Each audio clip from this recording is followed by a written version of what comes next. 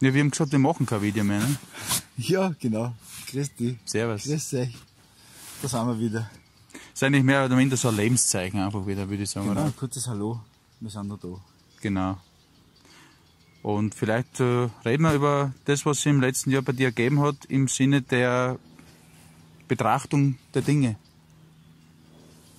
Ja, was soll wir anfangen? Ist in deinen, in deinen Augen immer noch alles gut, so wie es ist? Ja, auf jeden Fall. Auf jeden Fall ist alles gut. Wir sind mittendrin in einem Prozess, wo es halt eine Zeit braucht, dass das, was zum Passieren hat, einfach passieren kann.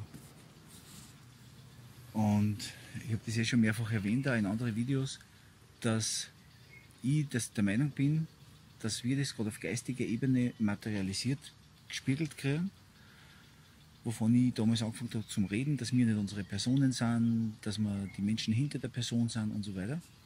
Das spiegelt sich jetzt materiell durch die Maske, weil Persona heißt ja Maske auf Lateinisch, durch die Maske, mit der der Mensch konfrontiert ist, dass er sich damit nicht mehr identifizieren will, dass er es ablegen will, dass wir hier mit der Maske geistig befasst sind, während wir sie ablegen. Das heißt, der Geist hat angefangen zu erwachen und durch diese Maske, die natürliche Person, im Kollektiv jetzt ablegen und muss damit eine Zeit lang damit befasst sein, bis am Tisch liegt. Während er es in der Hand hat quasi. Sie fällt nicht von selber ab, sondern er nimmt es ab und legt es am Tisch. Und jetzt haben wir die Phase wahrscheinlich kurz bevor es am Tisch liegt. Er hat schon länger in der Hand, merkt es, kämpft dagegen, wehrt sich dagegen. Der Darth Vader ist das Symbol für den Kampf gegen die Maske. Und der sagt am Schluss, ich bin dein Vater. Wo dann die Wiedervereinigung mit dem Vaterbewusstsein passiert, der Ratschluss mit Gott im eschat eschatologischen Sinn. Genau, so sehe ich das nach wie vor. Aber was, du, was mir einfällt bei der Schilderung ist ja, dass der Betroffene auch vorher die Maske selber aufgesetzt hat und nicht eigentlich Opfer eines anderen Nein, ist, ich der würde sagen, der- er hat es aufgesetzt gekriegt. Die Maske, von der ich sprich, in Klammer die natürliche Person. Okay, aber ich meine jetzt von dieser In unserem Erleben, auf, FFP2-Maske, auf die setzt sie selber auf, ne? er setzt es zwar selber auf, aber nicht aus freien Stücken, Mhm. sondern befohlenerweise. Aber das ist für die äh, symbolisch nicht wichtig, dass das äh, selbst passiert und nicht durch Herrn Kurz zum Beispiel oder durch irgendwen externen Dritten. Nein, es ist für mich dasselbe, deswegen, weil es halt auf einer anderen Ebene, auf einer anderen Qualität passiert. Aber du unterscheidest das nicht, ob das jetzt ein. Da, wo die Kirche die Ursache dafür ist, ohne dass wir es gewusst haben, dass wir die natürliche Person aufoktroyiert gekriegt haben, diese Zumutung des Rechts. Äh, genauso ist hinter den Kulissen eine höhere Macht dafür verantwortlich, dass jeder Mensch sie mehr oder minder freiwillig die Masken aufsetzt. Ja. Äh, äh, wie sagt man? Verpflichtend freiwillig hat es früher ja, genau, geheißen. Ja, genau. Befohlenes lustig sein. Voll so muss es sein. Genau. Aber Ja. diese übergeordnete Macht, wie du sie nennst, in letzter Konsequenz bist ja du das in deinem Wesenskern. Ja. Und deswegen ist alles gut. Man wehrt sich zuerst dagegen, bis man draufkommt, ah, das hat eh immer schon passt. Ja. Ja, Und das ist trotzdem falsch, wie ich sage, dass man sich selber die Maske aufsetzt. Wenn man sagt, diese übergeordnete Macht, die uns die aufgesetzt hat, sind Na, wir wahrscheinlich ist genau diese Freiwilligkeit, wo keiner weiß, wo eigentlich die Freiwilligkeit angefangen hat. Weil auch das natürliche Personenspiel ist ja auch freiwillig. Ja, richtig. Ja, genau. Und keiner weiß, wo hat eigentlich die Freiwilligkeit angefangen, die will da nicht mehr dabei sein. Und da ist der Freeman gekommen und hat versucht zu erklären, wie das alles aufgebaut ist, wer eigentlich da hinter was steckt. Und letztendlich, dass das ganz normal ist, weil es hat der Heilige Geist gemacht. Es Und ist in sich notwendig gewesen, offenbar. Mhm. Und jetzt ist die Zeit gekommen, wo wir diese Maske im Kollektiv ablegen. Aber nicht die Maske aus Stoff oder Mhm. was ich was, sondern die geistige Maske. Deswegen ist ja die Burka und wie soll ich hassen, der Jihab oder so ähnlich. äh, Kenne mich da leider nicht aus mit dem Begriff. Ja, nicht genau. Aber das waren immer so Themen. Vermummungsverbot war Ja, Thema. ja, das stimmt. Ja. Das ist genau dieselbe, nur eine andere Ebene wiederum, aber dieselbe Botschaft. Und jetzt geht es darum, diese Vermummung tatsächlich abzulegen, in der der Mensch als Totenmaske, als ägyptische Totenmaske, durch seine israelitische Gefangenschaft in Ägypten äh, durchgemacht hat. Die hat er durchtragen, als Rolle hat er es durchtragen. Gemäß der Tora, der Rolle, die Schriftrolle, Mhm. wo wir dann letztendlich bei der Bundeslade mit den zehn Gebote sind. Also es, im Hintergrund waren Mächte aktiv, die dafür verantwortlich waren, dass wir eine natürliche Person überhaupt zur Verfügung haben. Wir haben diese Zumutung nicht deswegen, weil weil da äh, eine Verfassung geschrieben steht, sondern wir haben eine Verfassung, weil die katholische Kirche das möglich gemacht hat. Die ja aber auch wieder vom Menschen irgendwo äh, Genau. belebt wird. Wo du denkst, wie geht das? Wie kann ein, ein, ein Verein, ein gläubiger Verein, ein gläubiger Verein, wie kann der so mächtig werden? Weil offenbar der Zeitgeist, dem ich eh alles in die Schuhe schieb, der Zeitgeist das so da hat. Okay, das ist ein Tag- ein Fak- Faktum, ja. Genau, dann kann ich, dann brauche ich keinen mehr die Schuld geben, sondern kann ich nur versuchen zu verstehen, ja, warum hat er das da? Wie war das möglich? Und was, was manifestiert sich da? Weil letztendlich ist für mich der Papst, deswegen habe ich den auch abonniert auf YouTube, äh, der Papst nichts anderes als eine menschlich-materielle Erscheinung vom großen Geist, der seine Rolle zum Spielen hat. Also würde, würde es dem Papst nicht geben, fördert was. Weil jeder Mensch in seinem Wesen ja einen inneren spirituellen Chef hat, quasi. Mhm. So den inneren spirituellen Beweisführer vielleicht, ja, am runden Tisch. Und das muss sie im Kollektiv dadurch manifestieren, dass einer im Außen die Rolle spielt. Ich verstehe schon, was du Ja. meinst, ja. So gesehen tragt er ein richtig großes Los, weil er als menschlicher Geist von alles, als ein Tröpfchen, der ist, der quasi alle anderen unter sich zusammensammeln muss, als spiritueller Chef. Und wie das geht, das geht dann über geheime Bünde, Verschwörungen, Intrigen, Inquisitionen, Auslöschungen von anderen Sachen durch. Jesuiten haben das vorbereitet. Aha, aber nicht, weil irgendeiner einen besseren Plan hat, sondern weil es einen großen Plan gibt. Ich verstehe schon, ja. Ja, was der Heilige Geist in sich einfach macht. Und so hat er sie, das möchte ich nur schnell fertig Ja, sagen, bitte. so hat er sie offensichtlich, bevor er jetzt im Kollektiv munter wird, hat er sie vorher zur Sicherheit an die Leine gelegt. Das haben wir immer wieder schon gehört, ja. Genau. Der Bund im Außen oder der Bund im Innen, aber niemals nicht, ne? Niemals nicht. Genau. Und jetzt wird der Bund sichtbar, sprich der Mensch kriegt jetzt gespiegelt, wie gefangen er tatsächlich ist, nämlich dass er einen Kreis rund um sich hat, aus dem er sich nicht ausbewegen darf. Der mag sein 15 Kilometer in Deutschland, was mit Corona und die Kinder haben im Kindergarten einen Kreis in der Pause am Hofzeichen gekriegt, in dem sie sein Genau. dürfen. Oder in Parks. Corona. Und die Corona heißt ja der Kranz, die Genau. Krönung, Mhm. die Umrundung. Das ist das. Das. Das ist das Christusbewusstsein, das da zum Vorschein kommt. Und jetzt ist die Zeit, wo diese Maske letztendlich fallen wird. Und wir alle haben nur die Schriften wo, und die alten Erzählungen, wo drinnen steht, was wahrscheinlich passieren wird. Weil sonst würden wir diese alten Geschichten nicht kennen, da wir jetzt ja voll im Dunkeln umeinander tappen und sagen, hey, was passiert auf dem Planeten? Spinnen die alle? Und so kann man sich festhalten auf ein, ein nächstes Ereignis, das da dann hassen wird. Äh, Ich habe es in einem Little geschrieben mit Die ganze Welt ist am Grinsen. Der Ratschluss mit Gott. Das Paradies oder wie man es halt dann nennen will. Die- Ja. Der göttliche Tag, das Reich Gottes. Dritte Zeile Vater unser. Das steht offenbar vor der Tür. Und Wo man aber gesagt hat, das wird nicht kommen, indem man sagt, siehe da oder siehe dort, sondern sehe, das Reich Gottes ist mitten, mitten unter euch, ne? hat Jesus gesagt. ja, genau. Das heißt, Genau. das ist ja, was, wovon du sprichst, das ist ja immer schon da gewesen, nur wir haben nicht mehr, wir haben verlernt zu sehen, dass es da ist. Ne? Ja, das kann man dann mit dem Beispiel vom Schlafen, Schlaf- oder Schlafmodus Ja. im Schlafmodus so erklären, dass man sagt, ja, ja das Wohnzimmer natürlich, äh, oder nicht das Wohnzimmer, sagen wir, der Garten, der Garten war immer da, Mhm. auch in der Nacht. Du warst nur nicht draußen, weil du hast geschlafen. Mhm. Der Garten war nie nicht da. Geh raus in den Garten. Du kannst ja in der Nacht in den Garten gehen, dann bist du kurz einmal erleuchtet und alle anderen fragen sich, wieso schlaft er denn nicht? Aber der Garten war nie nicht da. Und jetzt wird der Garten halt für alle interessant, weil es einfach nicht mehr dunkel ist und es ist nicht mehr Zeit zum Schlafen. Jetzt soll es hell sein und es soll dieser göttliche Tag sein dürfen. Das Reich Gottes ist schon da. Natürlich, es war nie nicht da. Aber jetzt wird es sichtbar. Die Sonne hat angefangen zu scheinen und wir sehen in welchen genialen Garten geistiger Natur jetzt. Kopfgarten. Wir da sind. Und wir können das Reich Gottes äh, schon erleben. Wir brauchen es nicht einmal initiieren oder gestalten. Das ist ja automatisch nie nicht da gewesen. Also Genau. Immer verfügbar. Es hat nicht unser Zutun gebraucht, dass es Genau. existiert oder nicht existiert, es hat unserem, unser Vergessen gebraucht, dass wir gedacht haben, wir sind aus dem Paradies oder wie man immer nennt, vertrieben worden. Ja, im Traum haben wir diesen Garten nicht zur Verfügung gehabt. Wir haben vielleicht von einer betonierten Stadt geträumt. Ne? Also ich im verstehe. übertragenen Sinn haben wir vom Beton geträumt. Es ist aus unserem Blickfeld, aus unserer Wahrnehmung gewichen. Und jetzt kommt der Punkt, wo der Traum anfängt zu zerplatzen. Die Welt zerfällt und der Garten wird interessant, weil es ein schönes Wetter ist und alle wollen aussehen und nicht mehr in die Steine drin sein, sondern aussehen in die Natur.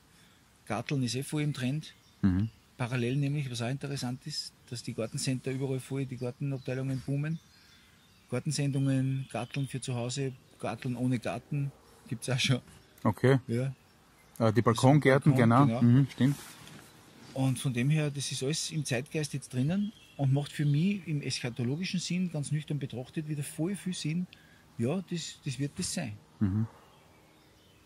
Dann lassen wir es weiter geschehen und freuen uns, dass so glatt abgelaufen ist, weil immerhin reden wir ja da vom sogenannten Weltuntergang. Der künstlichen Welt, ne? Es hat nie eine andere Welt unter Anführungszeichen gegeben. Ja. Was sagst du? Die neue Weltordnung war dann genau das, was nach dem Weltuntergang passiert. Mhm. Wird verteufelt natürlich von den sogenannten Verschwörungstheoretikern. Aber es ist immer die Frage, wie es gemeint ist. Genau, richtig. Du sagst, Trust the Plan, ist das genau dieses QAnon-Thema, Trust the Plan. Ähm, das ist genau dasselbe, dass ich sage, ja, wer schreibt den Plan? Ist das jetzt der Plan von irgendeinem Hansel, von einem Schaf, so wie ich ein Schaf bin? Dann ist es ein uninteressanter Plan. Ist es der große Plan? Der morgen davor die Sonne wieder aufgelost und den Mond ein wenig glitschen lässt gegen die Sonne, dass sie das alles verschiebt und so. Wenn das der Plan ist, dann ist es dann Trust the Plan. Dann wird es jetzt hell und Gott, was immer darunter zu verstehen ist, aber das große Ganze wird dafür sorgen, dass alles, alles perfekt ist, wunderbar ist oder wundervoll ist, miraculous ist. Genau. Also du lebst nicht mehr in diesem Urvertrauen, also Urvertrauen will ich jetzt fast gar nicht sagen, aber in diesem Vertrauen, dass alles gut ist, dass es nichts, also dass das, was ansteht, das passiert automatisch. Alles, was passieren darf, wird passieren. Genau. genau. Wichtig ist für mich, dass man nicht im Weg steht. Wie, wie hast du diese, dieses ähm, Ereignis in Israel da gewertet, als die Palästinenser jetzt vor kurzem wieder Raketen rübergeschossen haben? Da hat es einmal was gegeben. Hat dich das irgendwie besonders äh, an, angeregt, dass du über, das, jetzt über die Bedeutung nachdenkst? Ja, so wie über das alles nachdenken, was man uns präsentiert, weil das Ja. ja offenbar von Wert zu sein scheint. Auch der Netanyahu, der abtreten ist, ne? Genau, Netanyahu ist weg und so. Das sind ganz mächtige Ereignisse im menschlichen Kollektiv, weil Israel ja jeder ist. Mhm. In einer gewissen Güte in sich. Und deswegen betrifft uns das auch. Ein Palästinenser, da muss man ja darüber nachdenken, was ist das eigentlich? Was bedeutet der Klang Palästina, Palastina, Palast, das klingt ja schon so königlich und so, ne? Und dass da ein ewiger Konflikt ist, wo der eine gegen den anderen. Und im Fernsehen ist für mich überblieben die biblische Erzählung darüber, dass die Sterne vom Himmel fallen werden. Mhm. Weil so hat es ausgeschaut. Für mich ist es auch schon wie Feuerwerk aus Silvester. Genau. Und die Sterne vom Himmel fallen ist, wie gesagt, ein wichtiges Bibelzitat im Zusammenhang mit der Apokalypse. Mhm. Und das erleben wir ja auf mehreren Ebenen schon parallel, wo unter anderem eben auch so Superstars mit ganz schwere, äh, äh, wie sage ich denn, Skandale oder was auch immer vom Himmel fallen. Mhm. Wo einfach Stars angeschossen werden die ganze Zeit. Der ist kein Star mehr und der hat Dreck am Stecken und der, ob das jetzt der Jeffrey Epstein und Konsorten, alle diese. Und die Korruptionsaffären in der Politik. Da Ne? fallen der Reihe noch die Sternchen. Also kurz genau dasselbe. Es war der Stern, der aufgehende Stern der ÖVP. Ja. Zack, da fallen die Sterne vom Himmel. Und auf einer eigenen Ebene wieder. ja, schon klar, ich verstehe schon. Und so war das für mich mit Israel. Dass da dieser Kampf, wo Jakob zu Israel wird, wo Israel immer wichtig ist und jetzt quasi Israel vor unser aller Augen eine Namensänderung kriegt, weil mit Israel bisher das Wort Netanyahu verbunden war. Mhm. Und auf einmal heißt das Bennett. Und bei Ben ist schon der Sohn enthalten, Mhm. wo ja eh die Menschheit wieder auf den Menschensohn wartet, wo dann vor unseren Augen im großen Kino wahrscheinlich das gerade passiert, dass aus Jakob Israel wird. Wo die, die Riesen, gegen die ja Jakob kämpfen muss in dem Märchen, die Riesen, was auf Englisch heißt Vernunft, wo der Mensch ja Vernunft regiert ist in dieser Welt, wo er gegen diese Vernunft gesiegt hat und dann zu Israel wird und sich auf Gott verlässt, weil er sagt, Gott streitet für mich an meiner Seite. Ich brauche mit keinem mehr streiten. Ich habe das abgetreten Ja. an höhere Kompetenzen. Subsidiaritätsprinzip. Dass ich sage, ich habe nur das zum tun, was ich zum tun habe. Das mache ich auch. Mhm. Aber was nicht in meiner Aufgabe liegt, das ist, und Streiten gehört da nicht dazu, das passiert auf höherer Ebene. Sollen andere für mich streiten. Und das bleibt in dem Fall bei, bei Gott. Genau. Äh, weil du, du hast auch ganz am Anfang was gesagt, wo mit zwei Stichworte gekommen sind, nämlich die, ähm, dieses freiwillig verpflichtend. Äh, was, macht der, was bringt den Menschen dazu, dass er eigentlich etwas macht, was er eigentlich gar nicht machen möchte oder, oder wo er freiwillig zu etwas gezwungen wird oder angehalten wird. Äh, da kommt mir das Stichwort Angst mhm. in den äh, Kopf. Mhm. Ja. Und äh, auch das mit Maske irgendwo auch äh, assoziiere ich diese, dieses Phänomen mit der Identifizierung des formlosen Bewusstseins mit der Form dieser Welt, in der Welt der Formen. Also, dass das formlose Bewusstsein vergisst um seiner Unsterblichkeit und ewigen Natur ähm, und dass du dann eigentlich anfängst, ähm, Angst zu entwickeln, weil du dich irgendwo isoliert fühlst als dieses Lebewesen. Diese, diese Dimension der Form fängt überwiegend werden an, so alles übertrumpfend und man vergisst um den anderen Aspekt in, in uns, der ja keine Form annehmen kann, sondern ewiges Subjekt eigentlich genau, bleibt. Ne? Genau. Äh, diese rastlose Suche des Menschen nach sich selber und so weiter. Die Essenz. Ja. Ähm, das ist nur so, was mir eingefallen ist. Und da wollte ich jetzt fragen, siehst du das dann so, im Kontrast zu mir natürlich, dass dies, also, dass jeder Mensch in dem Ausmaß frei leben kann oder frei von Angst leben kann, na, jetzt habe ich es eigentlich kaputt gemacht, äh, so, so weit frei ist, wie er innerlich frei von Angst ist und ja. das im Außen wieder gespiegelt kriegt. Ja. Und dass das keine Frage ist von, wie sehr mh, mm, arbeite ich an meiner Angst, indem ich mich bewusst konfrontiere, sondern dass du sagst, jetzt fängt der Morgen dämmern an und je mehr die Sonne kommt, desto heller wird das, das Knäuel, der, der schwarze Punkt, wo, wo man sagen, boah, das, da, da schaue ich nicht hin. Ja. Der wird immer kleiner, immer kleiner, immer kleiner, bis, er, bis der Mensch sieht, da ist ja nichts mehr, da genau. brauche ich gar keine Angst haben. Du meinst, dass das so funktioniert mit der ja. Erfreiung der Menschen? Ja, das glaube ich. Das glaube ich, dass das genau wird. Okay. Und dass man irgendwann erkennen kann, kann, kommt, dass die Angst, mit der man sich konfrontiert sieht, ja letztendlich eh nur die Angst vor einem vermeintlichen Tod ist. Mhm. Also die Angst vom Sterben ist die Basis für jeder Angst. Mhm. Oder könnte man sagen, das Ende von jeder Angst. Würde man die Angst, in die man blickt, zu Ende denken, ja. wird man sterben. Genau. Und damit müsste man sich eigentlich nur mit dem Ergebnis konfrontieren und sagen, ist es möglich zu sterben als ewiger Geist? Du, das habe ich genau gemeint. Durch genau. die Identifizierung mit genau. Form vergisst du um das ewige Leben und ja. glaubst, dass du das Fahrzeug bist, nämlich der Körper. Genau. Und dann kommt diese Todesangst und Existenzangst, genau. die uns ja eigentlich alle in dem System drinnen halten. Du identifizierst dich mit deinem Auto. Genau, genau, genau, das genau. ist es. Und wenn der Auto Schrauben hat, glaubst du, dass du das oh, bist. Ne? Genau, genau. genau. Und da sind wir bei dem Punkt. Die Ewigkeit hat das nicht. Die Ewigkeit atmet einfach dahin im ewigen Moment und hat auch jetzt nicht mehr das Gefühl, was ist heute für ein Tag. Das ist ja auch so im Zeitgeist ein bisschen zum Erkennen gerade. Genau. Das ist das Zeitgefühl, was genau. du. Oder die Beschleunigung von Zeit seit 2012 ungefähr. Ja. Habe ich beobachtet, auch bei mehreren Menschen, ja. Ja, also bin ich wieder voll im Vertrauen, dass es tatsächlich das ist, was ich seit längerer Zeit schon sage. Und kann mich zurücklernen in dem Vertrauen darauf, dass jetzt der Punkt gekommen ist, wo die Eier schlüpfen anfangen. Ja. Weißt, es ist ausgebrütet, Dings, und jetzt ja nicht von außen drauf haben. Das ist richtig, ja. Ja, nicht von außen drauf haben. Lass von innen aufknacksen, es wird alles gut. Es kann sein, dass vielleicht noch ein Küken nicht, nicht kommt. Aber das wirst du auch nicht retten, was du von außen drauf hast. Der, der, der Schlossprinz mal dazu. Küken. ich habe das manchmal verglichen mit einem Blind Race beim Pokern, was dass ja. jetzt der Druck erhöht wird, um die Dringlichkeit zum Aufwachen. Ja, Jetzt unterbrechen wir gleich. Gut, dann. Okay, danke dabei. Danke, Baba dabei. Kurzer Schnitt. oh yeah. Da sind wir wieder. Servus. Grüß dich gut. Wir haben gesagt, wir machen kein Video mehr. das ist schon wieder eins. Ja, aber das ist nur, weil es ohne Bild fad ist und es ist, wir reden aber so gescheit daher. Und jetzt könnt ihr uns wieder ein wenig zuschauen beim gescheit daherreden. Genau. Wir haben ja, noch was zum Klären. Naja. Auf ja. alle Fälle, weil sonst war man ja schon in Eigenzeitgeist, ne, dass Genau, wir haben, noch, wir haben schon über so viel geredet, aber es sind sicher noch ein paar Sachen offen. Bist du schon auf Dings? Ich bin schon längst äh, auf Dings, ja. Nicht, dass sie einen Stopp druckt. Nein, nein, das kann sie nicht, aber vielleicht kriege ich mit den Haxen. Aber ich werde das dann so halten. Genau.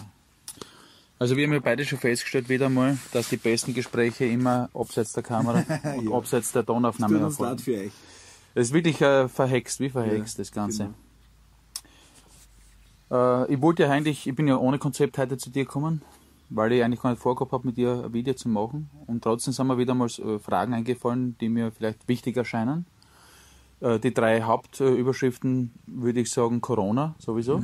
Wie ist es dir mit dem äh, Thema gegangen seit unserem letzten Treffen? Ähm, dann hätte ich das Thema Liebe beziehungsweise Schmerz, Schuld, Angst, äh, Scham und natürlich auch, was dich persönlich betrifft, äh, ein paar Fragen. Wenn es mir gelingt, dich Mhm. wieder äh, richtig am Nerv zu Wollen wir treffen. nicht zu sehr abschweifen. Genau. Ja. Genau. Es, es ist ja, es ist sehr viel schon gesagt worden in den letzten Videos. Und ich versuche immer die Realitätswelt des Zuschauers zu berühren, sodass er irgendwas damit anfangen kann. Natürlich gibt es da verschiedenste Ebenen. Ja, es geht dann oft schnell ab in so philosophische Ecken und äh, Klänge, wo dann der Einzelne dann sagt, ja, über was reden die da. Aber das soll es nicht sein. Wir werden versuchen, sehr geerdet und weltlich über die Dinge zu reden. Wir Würde mich sehr freuen drüber, ja. Ja, das sei einmal vorweg. Genau. So. Also, was wir beide auch festgestellt haben, ist, dass wir uns einig sind, dass irgendwas passiert gerade Ja, in dieser eindeutig. Zeit. Ich meine, das wird wohl keiner leugnen, Mhm. dass irgendwas passiert. Was sehr äh, markant was fast niemandem mehr äh, verborgen bleibt. Nur wir sind uns über die Interpretation dieser Ereignisse noch nicht ganz so einig, beziehungsweise ist dein Zugang, dass du im Großen und Ganzen sagst, es ist jetzt die große Götterdämmerung, der große, das große Erwachen. Und ich bin eher der Ansicht, dass, wie der Wagen das gesagt hat, die Bühne einfach nur umgebaut wird. Das heißt, es ist eine große Perestroika, ein Umbau, weil einfach die alten Mechanismen nicht mehr ziehen und wir offenbar für diejenigen, die noch schlafen, neue Konzepte brauchen, neue Regeln brauchen, neue Beschränkungen brauchen, damit der Schraubstock wieder enger draht wird, damit auch die zum Handkurs kommen und irgendwann mal sagen, mir, mir reicht's, ich möchte aufwachen. Ja. Die Watschen, die berühmte, ne? Ähm, ich würde mir mal, ich- mich würde mal interessieren, wie die Zuschauer zu Hause dieses Corona-Thema äh, erleben in ihrem privaten Alltag. Das ist dann die Frage, die ich an dich auch stelle. Ja. Äh, wie geht's denn hier um mit diesen MNS-Maskenpflicht äh, im, im Supermarkt? Äh, tragt sie die Maske gerne oder widerwillig oder so wie der Joe es einmal gesagt hat, in Würde? Oder habt ihr vielleicht ein Hintertür, dass ihr zum Beispiel Befreiungen euch organisiert habt von Ärzten? Oder geht ihr gar ohne Maske einkaufen? Nehmt ihr den Virus ernst, die Bedrohung ernst? Oder habt ihr vielleicht Angst vor der Hysterie der anderen Menschen, die das äh, nicht verstehen können, warum Menschen anders denken? Das würde mich mal wirklich interessieren, wie das der Einzelne zu Hause eigentlich wahrnimmt. Ja. Weil dort holt man ja dann eigentlich ab, wo er sich gerade befindet. ja. Bitte Kommentare.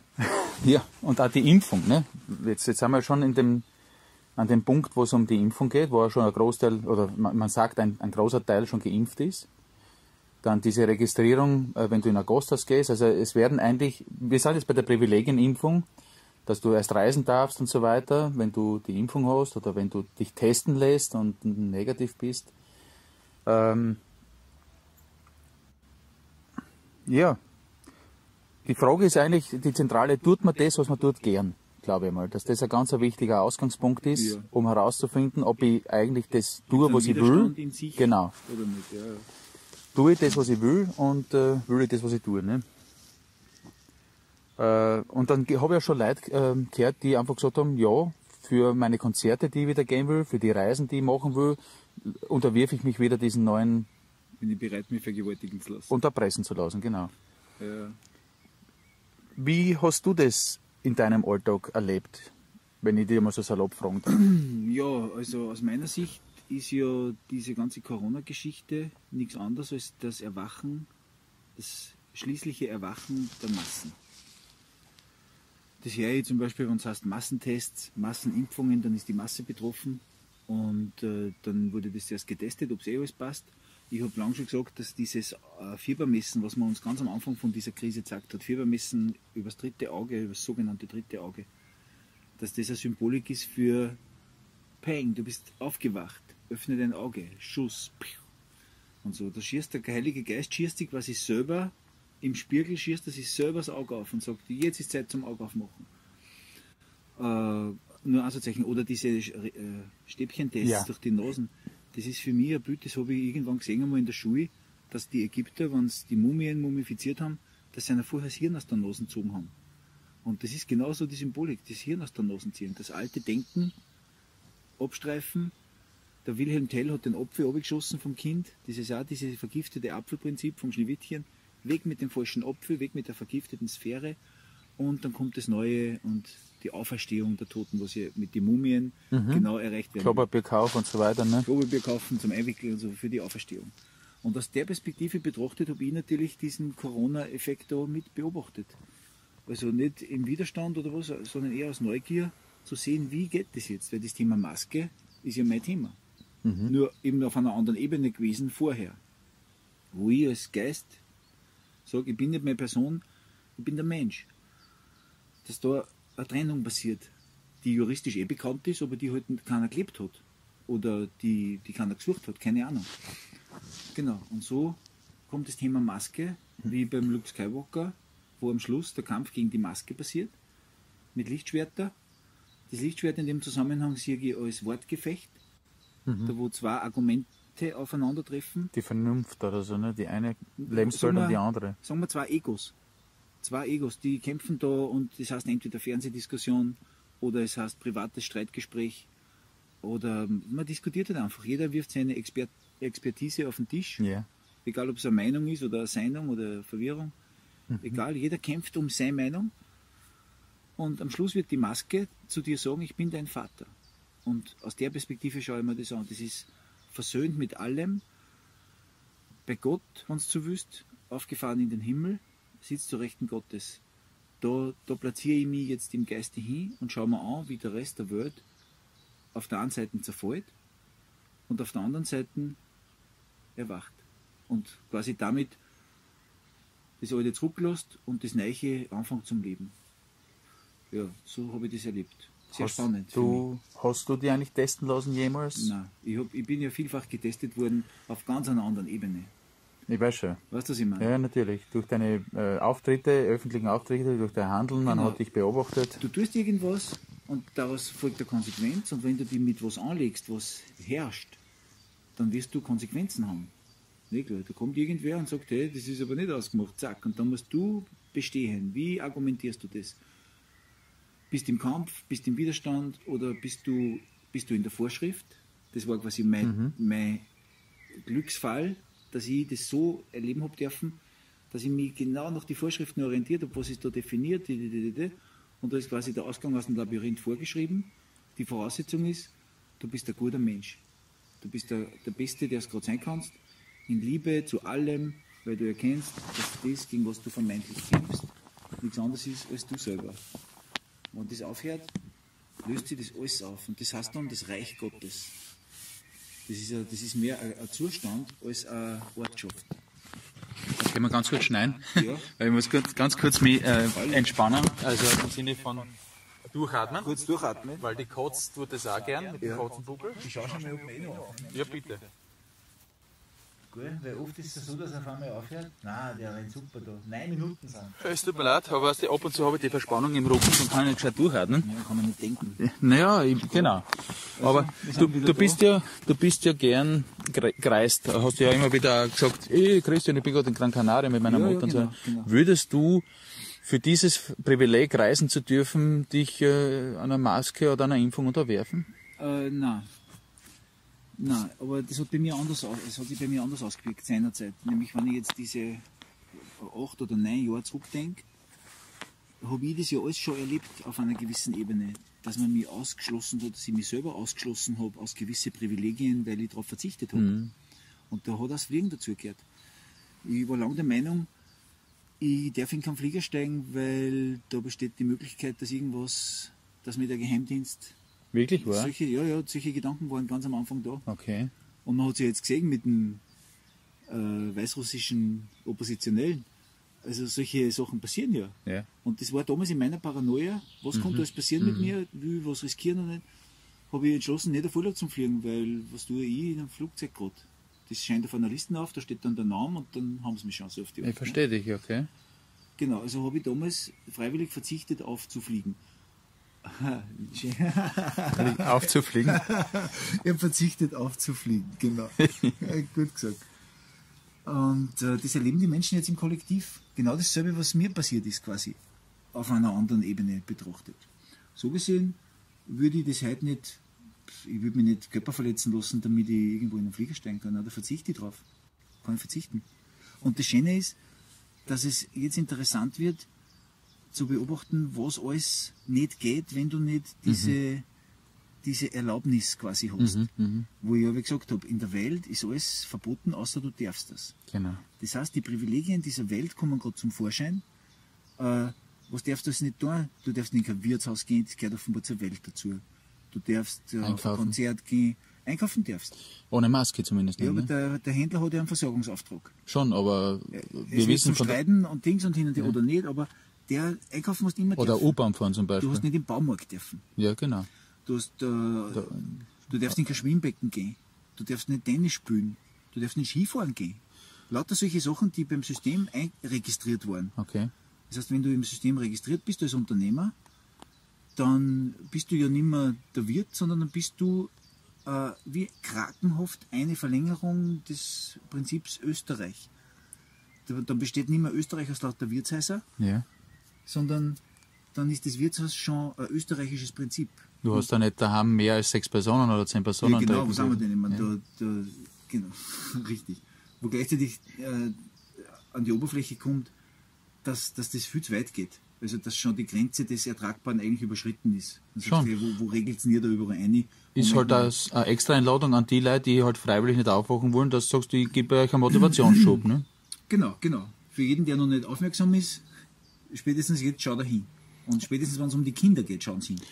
Das heißt, jetzt müssen sie die Kinder impfen, hier spinnt sie alle, was ist leicht los? Haben wir leicht ein, ja, das Erwachen hat begonnen. Guten Morgen. Das ist so die Floskel, die dazu passt. Äh, da merkt man sehr schön aus, wie wir eigentlich nicht Sklaven des Staates sind, sondern Sklaven unserer Begierden. Und wenn wir unsere Wünsche nicht zurückstecken, und uns bereitwillig unterwerfen, dann haben wir uns ja freiwillig in eine noch größere Versklavung hineinbegeben. Also da sieht man schon die Freiwilligkeit auch sehr stark heraus. Wir reden von einem Vergnügungspark. Ja. ja. Ein Vergnügungspark, der aus Privilegien besteht, weil jeder sie verkauft hat an dieses Privilegiensystem. Aber freiwillig aber irgendwo freiwillig. Es weiß halt keiner, wo die Freiwilligkeit angefangen hat. Naja, eben dort, ja. wo es heißt, du Gasthaus nur mit Registrierung oder mit Test oder was auch immer, ja. dann sage ich, ja, ich verzichte halt drauf, aber wer will halt schon gern verzichten in der Welt. Ne? Genau, aber der Verzicht ist halt das, auf was es jetzt gerade ankommt. Und das haben die Menschen auch freiwillig oder unfreiwillig erfahren dürfen, dass sie verzichten müssen. Dass diese Privilegien quasi nicht jedem zur Verfügung stehen automatisch, sondern das, da muss man schon verzichten können die Zeit der Entbehrungen hast du jetzt im Zusammenhang mit der Auferstehung, mhm. wo das Volk Gottes durch die Wüste geht. Ja. Und äh, diese Wüste mit der 40 dabei im Hinterkopf, wo Moses, Noah, Jesus überall einen 40er in der Wüste dabei haben, äh, dass dieser 40er ja Quaranta heißt auf Spanisch oder Italienisch. Quarantäne, ja. Quarantäne. Also 40, das war jetzt das, wo die Menschheit durch den 40er geht, durch die Quarantäne, global. Jeder war mit Quarantäne konfrontiert irgendwo. Und nach der Quarantäne, also wenn die 40 hinter uns liegt, dann öffnet sie quasi diese Sesam öffne dich, die 40 Räuber sind hinter mir, Sesam öffne dich und das Himmelreich wird kommen. So interpretiere ich das nach wie vor. Und äh, ja, äh, wolltest du noch was sagen? Ich will nicht unterbrechen, weil ich ja, hätte schon wieder die nächste Frage, ja, glaube ich. Irgendwas wollte ich noch sagen, aber okay. das ist mir jetzt im Zusammenhang mit den 40 Euro Ja, merkst du, wie es mir jetzt geht, manchmal wie mit dir? Ja, ja, äh, ich kenne mich das, ja selber. Deswegen habe ich meine Zettel, weil da irgendwann mal gesagt hat, schau, der Joe lacht dir aus mit so vielen Zetteln, was du hast. Ja, die brauchst du, wenn du mit dem Joe redest. Ja. Der braucht es selber schon. Genau. Ja, das wollte ich noch sagen. Ja, siehst jetzt geht's wieder. Gut, danke für die, für die Über Übergangsmoderation. Bitte. Nein, es steht irgendwo geschrieben, dass äh, erst eher geht, ein, geht das Kamel durchs Nadelöhr, ja. als dass ein Reicher ins Himmelreich kommt. Genau, ja. Und dieser, dieses, dieser Vergleich ist jetzt gerade voll passend, weil das Kamel sagt man uns im Fernsehen mit dieser Kurve von Corona. Mhm. Das sind zwar die zwei Höcker, witzigerweise trotz drei Wellen, aber es sind zwei Höcker, die es uns zeigen. Die Infizierten Zahlen oder was meinst du jetzt? Ja, mhm. diese Tagesinzidenz, okay. daher sagen. Genau. Das ist der Höcker vom Kamel und mit der Wüste gemeinsam ist ein Indiz dafür, dass jetzt auch die Pharisäer und die Reichen ins Himmelreich kommen werden, weil keiner wird zurückgelassen. Mhm. Das ist die Botschaft, die über dem drüber schwebt, nur mit Hashtag keiner wird zurückgelassen. Also es passt alles zusammen, dass diese eschatologische Sicht der Ereignisse auf dem Planeten für mich nach wie vor am meisten Sinn machen. Ich kenne ja auch ganz viele andere Theorien. Yeah. Was das so, diese Verschwörungen und Dings, was alles sein kommt. Aber für mich ist das nichts anderes als der große Plan, der sich erfüllt, wo die Menschheit aus ihrem halb ewigkeitlichen Schlaf jetzt das Auge öffnet, zwar zuerst einmal einzeln, aber schlussendlich kollektiv. Ja. Das sehe ich auch so, dass es was Positives hat. Und ich glaube, das Positive an etwas scheinbar Negativen kann man nur sehen, wenn man die Perspektive auch richtig adjustiert. Und das sollte eigentlich der Aufruf an jeden sein, der sich Sorgen macht, Angst hat oder irgendwie was Negatives drin sieht, äh, dass er vielleicht falsch getrimmt ist mit seiner Perspektive. Genau. Weil das, was Entschuldige, da fällt mir gerade das Beispiel. Ja, bitte. Dass man den Surfer tröstet damit, dass man sagt, siehst du aus der Sicht vom Haifisch. Äh, sicher, bitte nochmal. Der Surfer, der Surfer ja. am Surfbrett und der Haifisch kommt. und du sagst zum Surfer, hey, du musst das aus der Sicht vom Haifisch sehen. Ach so, ach so, siehst du aus der Sicht vom Haifisch, okay. Ja, siehst du aus dem Haifisch seiner Sicht. Ähm, opfere dich. Ja, sagen wir mal vom großen Ganzen her, ja. Ja, wenn du das nicht ändern kannst, opfere dich. Ja. Äh. Aber das klingt jetzt ein bisschen Dings. Nein, weil, weil viele Leute habe ich gehört, die sagen, boah, Corona spaltet die Gesellschaft und die denken mir, nein, ihr habt es nicht begriffen. Die Spaltung war immer schon da, aber so deutlich, wie sie jetzt an das Tageslicht tritt, das war noch sie nie der, der, Fall. Genau. Für mich war das seit meinem 12., 13. Lebensjahr bereits spürbar und sichtbar. Und habe ich damals mit 19, 20 mit jemandem über das reden wollen, hat da jeder mit dem Vogel und gesagt, was wüssten. Wir haben ja eine Wohlstandsgesellschaft, soziales Netz und so. Ja. Und dabei habe ich aber immer diese Lieblosigkeit, diese Gewaltbereitschaft, dieses Denunziantentum gespürt, dass wir uns seit 1945 überhaupt nicht, oder vorher schon nicht weiterentwickelt haben. Nur das war nie so sichtbar wie jetzt und ich bin dem so dankbar, weil dadurch kann das in die Heilung gehen. Weil wenn wir das Licht der Welt sind und jetzt unser Licht darauf scheinen lassen können, dazu ja. muss es aber auch eine Bereitschaft geben, hinzuschauen. Ich sagen, das, ist, das Sichtbarwerden ist ja schon das Sichtbarwerden der Heilung. Ist schon Dass richtig. man gar nicht sagt, das kann jetzt in die Heilung gehen, sondern wenn es sichtbar wird, ist es schon auf dem Weg in die Heilung und da kann man nur mehr sagen, ah, endlich. Aber was, die Heilung ist immer erst dann, wenn man das Ereignis einordnen kann, positiv und nicht aus dem Ereignis aus seiner Ruhe gerissen wird und Angst, in Angst verfolgt ja. oder in, in, in, Feindbildern und Gegenseitiges. Weil das ist dann wieder das Fortsetzen des alten Musters. Genau. Es ist ein Schritt, glaube ich, eine große Hilfe, aber die Heilung ist es erst, wenn du das Ereignis einzuordnen weißt, dass du sagst, alles ist gut, wie kann er das jetzt da reinpassen? Ja. Und es geht halt am, am, besten dadurch, wenn du dich vorher schon ein bisschen beschäftigt hast und deine Hausaufgaben gemacht hast. Und das haben halt die meisten nicht, weil sie beschäftigt sind, ja. weil sie den Sinn nicht sehen. Sie, sie sagen, was, was, soll ich mich damit beschäftigen? Oder ich bin ein kleines Zahnrädchen, ein ohnmächtiges. Was, was soll ich mich damit äh, auseinandersetzen? Und das ist dann natürlich, wenn es dann akut wird, problematisch, weil du dann anfängst, hysterisch zu werden oder, oder inadäquat zu handeln. Ne? Ja, jetzt ist ja jeder damit konfrontiert. Von dem ja, Gott sei Dank, muss, ich bin sehr dankbar muss dafür. Muss jeder auseinandersetzen, genau. Ja, wegen dem Einkauf mit der Maske hätte ich dich noch gern gefragt, wie hast du das gehandhabt die letzten Jahre? Bist du dann weiter, äh, die letzten Jahre, die letzten Monate, bist du da jetzt immer mit Würde einkaufen gegangen, hast du das fortgeführt oder hast du mal ohne Maske eingekauft? Ich variiere da, wenn, wenn ich zur Tankstelle einige zahlen, habe ich keine Masken auf. Aber im Supermarkt? Im Supermarkt, wenn ich durchgehe und tatsächlich einkaufe, weil da bezahle ich ja nur, da habe ich ja schon quasi draußen das Auto antankt, Dings, und zahle ich. Ich verstehe schon, ja. Das ist was anderes. Und äh, so interpretiere ich das. Ich bleibe da im Hinterkopf biblisch, dass ich aus der Offenbarung ausließ, es kommt die Zeit, in der du ohne das Zeichen des Tieres, das Malzeichen, mhm. nichts kaufen oder verkaufen kannst. Mhm. Und da ich das Malzeichen als X übertragen auf den Namen, übertragen auf die natürliche Person, auf die Maske, und dann sind wir genau beim Symbol fürs Malzeichen. Das ist eben die Persona, die du da symbolisierst mit der Maske. Du kannst ohne dieses Ding nichts kaufen und verkaufen, weil das ein Rechtsgeschäft ist. Und in dieser fiktiven Geschichte muss jeder, der teilnimmt am Rechtsgeschäft, muss natürlich registriert sein, muss in seiner Person sein. Er kann nicht als freies Wesen da Geldgeschäfte machen, weil im Spiel alles ein Nullsummenspiel sein soll und jeder muss wissen, wo das Geld hinkommt. Das kommt eh gerade erst zum Vorschein. Und aus dieser Sicht außer trage diese Maske in der Beobachtung, dass jetzt die Zeit ist, wo zum Vorschein kommt oder ans Tageslicht kommt, ich will nicht aber das Wort Fahrschein in den Mund nehmen, okay. wo zum Vorschein kommt. Also Fahrschein. halt, Vorscheinkontrolle bitte. Äh, dass, dass du ohne dieses Malzeichen nichts kaufen und verkaufen kannst. Das ist die Apokalypse. Das ist biblisch. Und dagegen wehre ich mich nicht. Wenn es biblisch ist, dann ziehe ich den Hut okay, und sage, okay, das verstehe. Das ist, da habe ich Respekt. Aber man muss ja nicht wehren. Man kann ja im Bewusstsein, dass, dass ich kein Verbrechen mache, ja auch ohne Maske in Liebe einkaufen gehen und dadurch auch keinen Konflikt erzeugen. Also ja. es kommt ja darauf an, in welcher Qualität mache ich es und nicht was ich mache. Ich kann mit die Maske, ich kann in Liebe mit der Maske einkaufen gehen, ich kann mit Widerstand in, mit der Maske einkaufen gehen äh, und ich kann in Liebe auch ohne Maske einkaufen gehen, aber auch mit Widerstand ohne Maske. Und ich ja. glaube, es kommt nicht darauf an, ob du Masken hast oder nicht. Es kommt darauf an, ob du es widerstandsfrei machst, in Liebe machst oder nicht. Was, das sind eigentlich meine Worte, übertragen auf meine Vorträge, wo ich sage, hey, ich kann auch ohne Person keine Gefahr für wen sein. Mhm.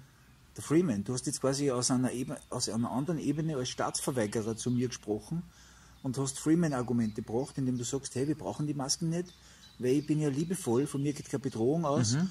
Und Dings, würde das die Person sein, die Masken, hast genau dasselbe gesagt wie ich. Lass uns einfach in Liebe, Respekt zueinander, miteinander Geschäfte machen, keiner bescheißt den anderen, du brauchst dich vor mir nicht fürchten, ich fürchte mich für dir nicht. Ja. Das ist Genau. das. Also bist du jetzt quasi Teil des Movements der Staatsverweigerung auf einer neuen Qualitätsebene. Nicht mehr verstehe im juristischen Sinn argumentieren mit Papierterrorismus Ja. und Schreiben, sondern jetzt sind wir schon im Handel. Aber dieses äh, ohne Schaden halten funktioniert ja. nur, wenn ich dich als eine Erweiterung meines Selbst erkenne und nicht als getrenntes Wesen, das über den Tisch ziehen möchte. Weil, Genau. ich, weil ich in der Liebe erkenne, wenn ich dir schade, dann schade ich mir genau gleichzeitig. Also in So, der ja. göttlichen Welt, passiert ja eigentlich alles gleichzeitig. Schade ich dir, schade ich automatisch mir. Oder wenn ich dir gebe, nehme ich automatisch geben und nehmen sind in der göttlichen Welt, wie alles in der Welt ist, eins in der göttlichen. Ja, Und, da, ist, äh, da ist sowieso wurscht. Da braucht man eigentlich nur in dieses Bewusstsein kommen, in diese Perspektive. Äh, jetzt, jetzt ist aber die Frage, du, du ziehst dir die Maske trotzdem auf. Ähm, du glaubst nicht an ein Virus, dass in, an seine Gefährlichkeit zumindest, ne, dass du jetzt angesteckt wirst. Ja, das Du- Prinzip ist mir überhaupt fremd. Ja, du Also hast, ich- ja, genau. du hast, glaube ich, einmal gesagt, dass du den anderen nicht provozieren willst oder so, wenn du die Masken nicht drauf hättest. Ja, ich, ich spüre für mich, dass ich aus der Zeit der Diskussionen draußen bin. Okay, aber ich meine, Ja. du, zieh, du, du, du, du, du klebst ja kein Pflaster auf die Hand, wenn du keine Wunden hast. Weißt? Jetzt ziehst du aber Masken auf, obwohl du ohne Masken eigentlich einkaufen würdest. Aus, Ja, ich tue mir meistens nicht einmal ein Pflaster drauf, wenn ich erwunden habe. okay, Ja. aber Aber jetzt von der Maske her, da sehe ich es wirklich so, dass der große kollektive Geist, an dem ich ja teilnehme, sobald ich einkaufen gehe. Sobald ich einkaufen gehe, gehe ich ja quasi nach Österreich. Wenn ich sage, ich bin ja gar nicht in Österreich, ich bin ja eigentlich in Erlösterreich, auch wenn es wurscht ist, aber die anderen Menschen spielen da Österreich. ja. Und wenn ich jetzt einkaufen gehen will, dann kann ich nicht, nicht in Österreich einkaufen, weil jeder in Österreich Das ist mir schon bewusst. Und von dem her muss ich aus Respekt des biblischen Geschehens, des Erwachens, der Symbolik im Geist, wie es passiert, er nimmt die Masken und während er es abnimmt, hat er es vor dem Gesicht. Das ist ja vorher das Ding, jetzt hat er es vor dem Gesicht. Der Geist nimmt die Maske ab, das dauert eine Zeitl und dann wird er so an den Tisch legen und sagen, so, jetzt bin ich aber aufgewacht. Und das war, ich verstehe, was das war, das war ein Sicherheitsmoment, sowas wie ein äh, explosionsverhinderndes Prinzip für meine Kapsel, dass falls ich durchtrabe beim Aufwachen, dass nichts passiert. Ja, Sicherheitsleine. Ne? Christus. Genau. Würdest du jetzt sagen, dass ich jetzt verantwortungslos bin? Oder? Nein, du bist der Staatsverweigerer auf neuer Ebene. Das ist genau dasselbe Prinzip. Dass du ja, wenn du äh, in Österreich einkaufst, sprich in ein Geschäft gehst Ja. und dort keine Person tragst, ja. dann bist du ja eigentlich ein Staatsverweigerer. Weißt du, verzichtest auf deine Person, du gehst als natürliches Wesen da rein und sagst, ich bin ein Mensch, ich brauche das nicht, ich, ich brauche keine Person, keine Maske. Dann kannst du die bewegen da drinnen, du erscheinst kurz als Gefahr, als verwirrendes Moment vielleicht. Andere fürchten sich vor dir. Aber du, du bist nach Österreich gegangen. Du kannst nicht, nicht in Österreich einkaufen, weil alle registriert sind. Und von dem her gehe ich nach Österreich und schaue mir das an, wie es gerade passiert. Und brauche dort nicht diskutieren. Ich diskutiere auch nicht. Genau. Und Weil- aus Respekt vor diesem biblischen Event Ja. sage ich, aha, da sind wir jetzt soweit. Also jetzt, respektlos, das wollte ich fragen, ob das jetzt respektlos ist in deinen Augen. Weil du sagst, aus Respekt ziehst es du auf. aus meiner Seite. Nein, es ist, es ist jetzt nicht respektlos, weil das, ich habe es ja auch nicht Ich aus mache ja, ich mach's ja bewusst. Ich mache es nicht aus einem Protest heraus, sondern ich mache es ja aus einem anderen. Ich habe nicht aus Respektlosigkeit den Freeman. Das weiß ich, das glaube ich, wissen wir alle, weil genau sonst das, warst du halt nicht Dieselbe da. Respektlosigkeit unterstelle ich dir natürlich auch nicht. Das ist nicht Respektlosigkeit, sondern das ist eine gewisse Form von Konfrontation mit einer fiktiven Sperrlinie. Genau, genau. Ja? Eine künstliche Sperrlinie. Genau, wo sich der Geist in seiner, in seiner Ausdehnung aus der Quelle außer, und das, ist, das Bild kann man jetzt bringen, was wir gestern in, an so einem Gespräch außerhalb der Kamera gehabt haben. Oder dann hat es mit Küken haben wir eh sogar gehabt. Eierschale. Die Eierschale. Nein, ich wollte jetzt auf diese Dings kommen, wo der Unterschied in der, in der Quelle passiert. Wo du entweder von innen außer sprudeln anfängst und merkst, hey, ich bin eigentlich eine Quelle. Oder ob du von außen definiert wirst, durch Druck von außen. Beides ist irgendwie rund. Ja. Ja, also wenn ja, ich von außen irgendwie ganz viel Gas, das verteilt ist irgendwie, wenn ich es komprimiere, komprimiere, komprimiere, dann wird es in einer Hülle, es braucht eine Hülle, Ja. wird es in der Hülle irgendwann rund sein. Je nachdem, wie groß der Druck von außen wird. Und dieses Runde ist jeder von uns irgendwie da im, im Energiefeld. Also eine Kugel in sein Umfeld. Und die Kirche hat nichts anderes gemacht, als eine Sicherheitskugel rundum legen von uns, in einer gewissen Art und Weise ein Druck von außen, wo eine Rolle definiert werden kann und modulhaft jeder sich aussuchen kann, was er für eine Karriere macht. Mhm. Und diese, diese Kapsel von außen, eine Brutkapsel, könnte man es vielleicht nennen, heißt in dem Zusammenhang für mich Christus. In Christus neu geboren. Du bist in dieser Kapsel gefangen und das ist Recht. Du bist im Recht neu geboren und darfst beim Vergnügungspark mitspielen.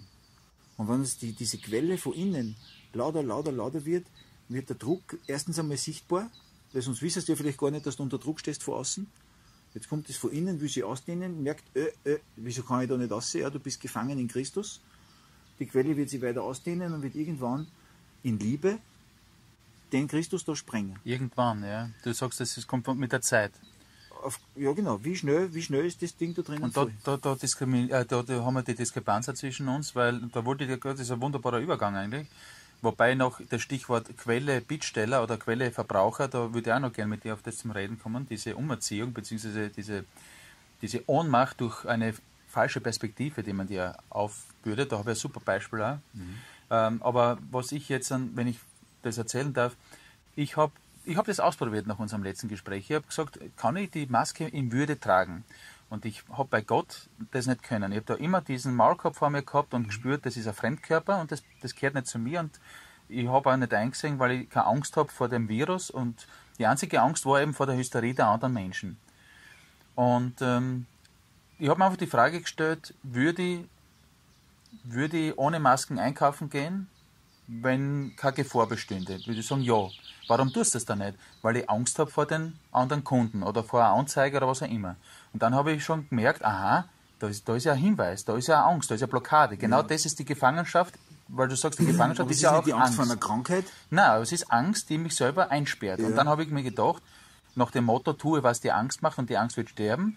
Das habe ich mein ganzes Leben, Gott sei Dank, immer so äh, beherzigt, dass ich mich meinen Ängsten gestellt und mich konfrontiert habe damit. Mhm. Und habe dann natürlich mal klein angefangen, indem ich einfach mal in ein Geschäft gegangen bin in Leibniz, äh, in, einen, in einen Supermarkt und habe mir was gekauft.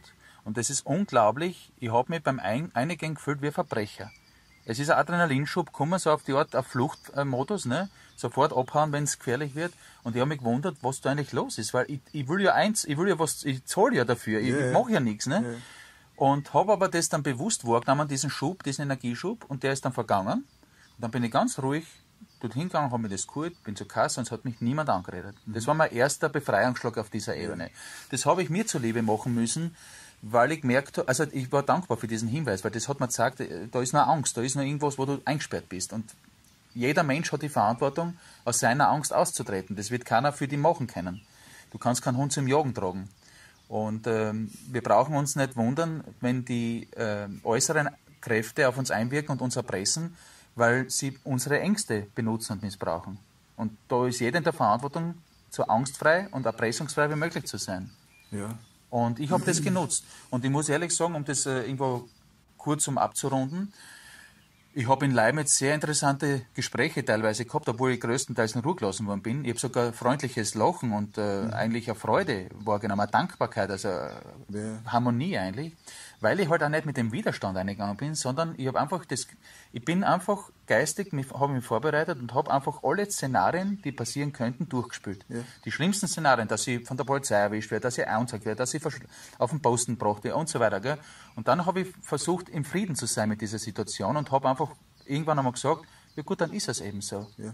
Ich stirbe deswegen nicht. Genau. Und da habe ich irgendwo meinen Frieden dann finden können und bin dann in, mit diesem Frieden einkaufen gegangen. Und das war dann nie ein Problem. Ich habe vielleicht 4%, 10% Interaktionen gehabt und 1% war unangenehm. Ja. Und ich habe aber sehr viele Menschen auch, äh, helfen können im Sinne von mit gutem Beispiel vorangehen. Das heißt, äh, eine Mitarbeiterin zum Beispiel, die, sie komplett, die komplett in einer Zerrissenheit war, weil sie einerseits mir als Kunden nicht unhöflich kommen wollte, auf der anderen Seite aber das Hausrecht von ihrem Arbeitgeber hat ja. müssen irgendwo einhalten, dass sie ausgeschmissen wird. Die war komplett durch den Wind. Ja. Dann habe ich ihre rausgeholt und gesagt, bitte, erstens, lassen Sie sich von Corona keine Angst machen, weil das ist ein Blödsinn, das ist alles ein übertriebener Schmäh. Lassen Sie sich kein Schuldgefühl einreden, weil Sie sind eine Mitarbeiterin, Sie haben keine ärztliche Kompetenz, dass Sie von mir einen Test verlangen dürften, wegen einer Maskenbefreiung. Sie haben keine behördliche Kompetenz, mich festnehmen zu dürfen. Sie dürfen mir höchstens anzeigen. Und Sie als Mitarbeiterin haben mich jetzt hingewiesen darauf, dass Maskenpflicht ist. Ich nehme das zur Kenntnis, aber jetzt ist der Ball bei mir. Und wie sie das gespürt hat, dass bei ihr die Schuld wegfällt, Ja. die Verantwortung, Ja, ja. dass ich sie übernommen habe und gesagt habe, jetzt bin ich schuld. Sie haben alles richtig gemacht. Die war so dankbar. Das hast du richtig gespürt, wie sie auf, Ah, aufklärt. ja. Ich meine, es kann jetzt der nächste Chef kommen und sagen, du weißt wenn so ein Blitzkneiser wieder kommt, ich schmeiß dich trotzdem aus, weil du musst mein Hausrecht schon umsetzen. Ja, ne? ich gut. aber das sind dann wieder andere äh, Genau. Geschichten. Ne? Ja, aber das ist schön, wie du das jetzt erzählt hast, weil Ich finde das auch sehr schön. eigentlich hätte es auch ich erzählen können auf die Zeit der Konfrontation mit dem System, wo ich gesagt habe, ich bin nicht meine Person. Du hast es ja erzählt mit dem äh, Gefängnis, äh, mit dem Gefängnisoffizier, äh, der- genauso mit dem du- Gespräche Genau, so, genau. Und auf, einer, auf dieser anderen Ebene wiederum Oder ist mit dem Sachwalter, den sie genau das Gleiche, was du gerade erzählt hast. Ja, dann, Ich möchte den Menschen helfen, aus ihrer Angst zu kommen, mit einem guten Beispiel und, und mit einer ruhigen Qualität. Ich möchte die Menschen neugierig machen oder, oder durstig machen nach Freiheit. Weißt? Es muss ja jeder selber den Weg gehen, aber diese erste Hürde, dieses Gefühl, ich bin nicht allein, da gibt es jemanden, der hat das gemacht und das, ihm ist nichts passiert, das möchte ich machen. Ich bin halt ein bisschen ein Pionier auf der Ebene, aber ich nehme das gerne in Kauf, diese ersten ähm, Lianen und Buschen von dem, von dem äh, Dschungel da einzuschlagen, damit Genau. halt hinten wer nachgehen kann. Ne? Freuen würde mich, wenn das mehrere machen taten oder viele. Weil so viele Polizisten können es gar nicht losschicken, dass sie die Leute festnehmen taten. Ne? ja. Aber wenn ich noch kurz fortführen, oder Ja, möchtest du was dazu Nein, sagen? nein, bitte, sag mal. Bei der Post war das Gleiche. Da bin ich einmal angeredet worden, die hat dann gesagt, äh, ich darf sie eigentlich gar nicht bedienen, sage ich, sie dürfen schon, aber ich verstehe es. Dann hat sie gesagt, ja, ja, tun es noch weiter. Im Gasthaus bin ich auch drinnen gewesen, habe ich erzählt, da hat er gesagt, ich muss den Wisch ausfüllen am 19. Mai. Bis, ich, bis, er, bis es ihm zu blöd geworden ist und der hat dann gesagt, hat, wissen Sie was, trinken Sie einen Kaffee aus. Ne? Genau. Also es kommt darauf an, wie verhandelst du. Lässt Ja. du dir die Bedienungen des Systems aufoktroyieren Ja. oder stehst du auf Augenhöhe mit dem System und sagst, ich habe aber auch Bedienungen. Und ob du schon vernünftige zähnefletschend dem Bedienungen. gegenüberstehst, Genau. dann wird er auch in die Abwehr gehen. Das ist Ohnmacht eigentlich. Genau, wenn man aber auf menschlicher Ebene miteinander reden kann Genau. und Dings, dann kann man das alles ausmachen. Genau. Und es auch res äh, respektiert, wenn einer sagt, bitte verlassen Sie mein Haus, mit dem musst du auch rechnen. Aber ich war bereit, in dem Moment zum Beispiel einen Kaffee zu zahlen und, und stehen zu lassen Mhm. und das Haus zu verlassen. Du musst einfach mit dem schlimmsten Fall auch im Frieden sein. Genau. Dann kann dir nichts mehr passieren. So wie wir mal gesagt haben, wenn der Sklave es in Kauf nimmt, dass der Diener ihm den Schädel abhockt. Gibt es keinen Sklaven mehr. Genau. In dem Moment In der, er in der. Bereitschaft musst du leben. Genau. In dieser bedingungslosen Angstfreiheit und Liebe. Ja. Ich war dann in Wien jetzt, deswegen komme ich, auf- ich komme ja von Wien eigentlich, vom Robern. Mhm. Ja, genau. Und habe das auch natürlich zum Anlass genommen zum Üben. Ne? Bin dann auch ohne Maske in die U-Bahn gegangen, nicht um zu provozieren, sondern einfach in dem Bewusstsein, ich tue nichts Unrechtes. Es gibt diesen Virus nicht, äh, zumindest nicht in dieser Gefährlichkeit, wie man uns äh, erzählt. Wir mögen jetzt darüber diskutieren oder, Es oder gibt schon einen. Haufen Menschen, die extrem krank waren.